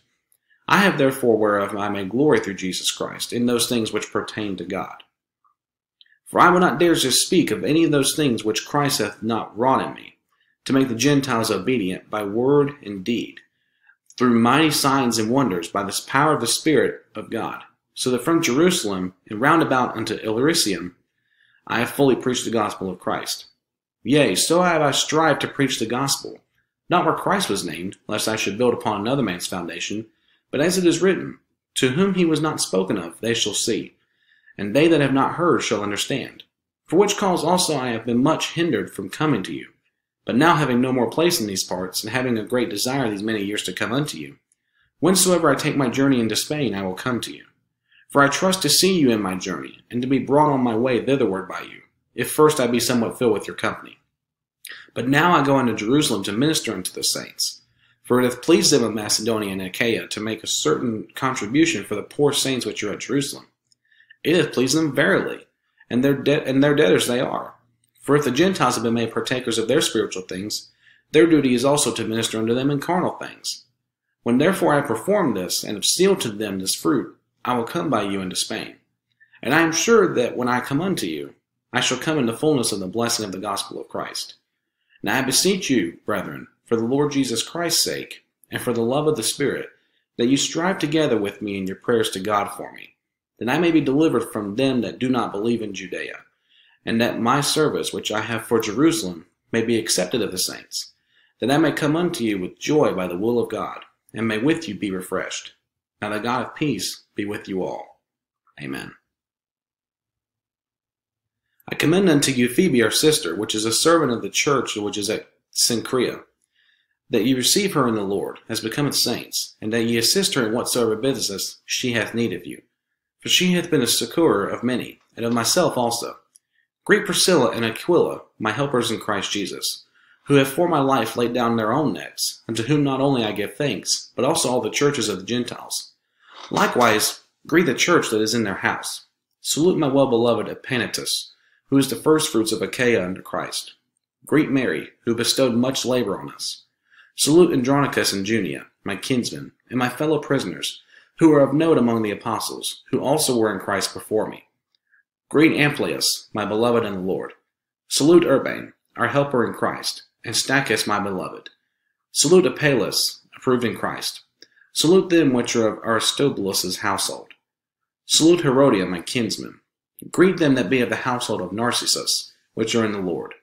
Salute to Tryphena and Tryphosa, who labor in the Lord. Salute the beloved Persis, which labored much in the Lord. Salute Rufus, chosen in the Lord, and his mother and mine.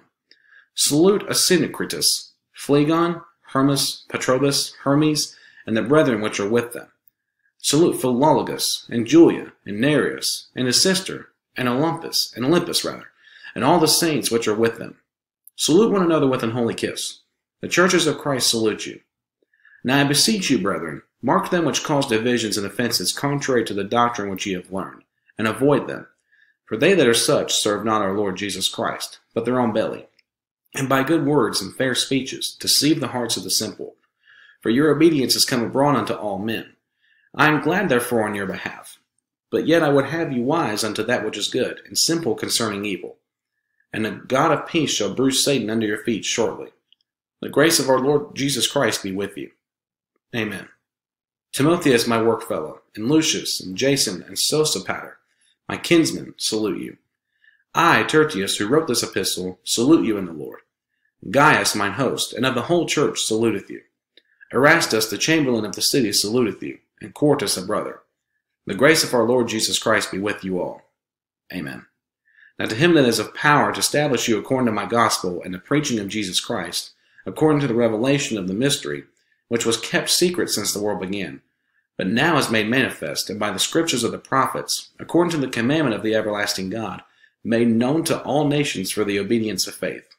To God only wise be glory through Jesus Christ forever. Amen written to the Romans from Corinthus, and sent by Phoebe, servant of the church at Cenchrea.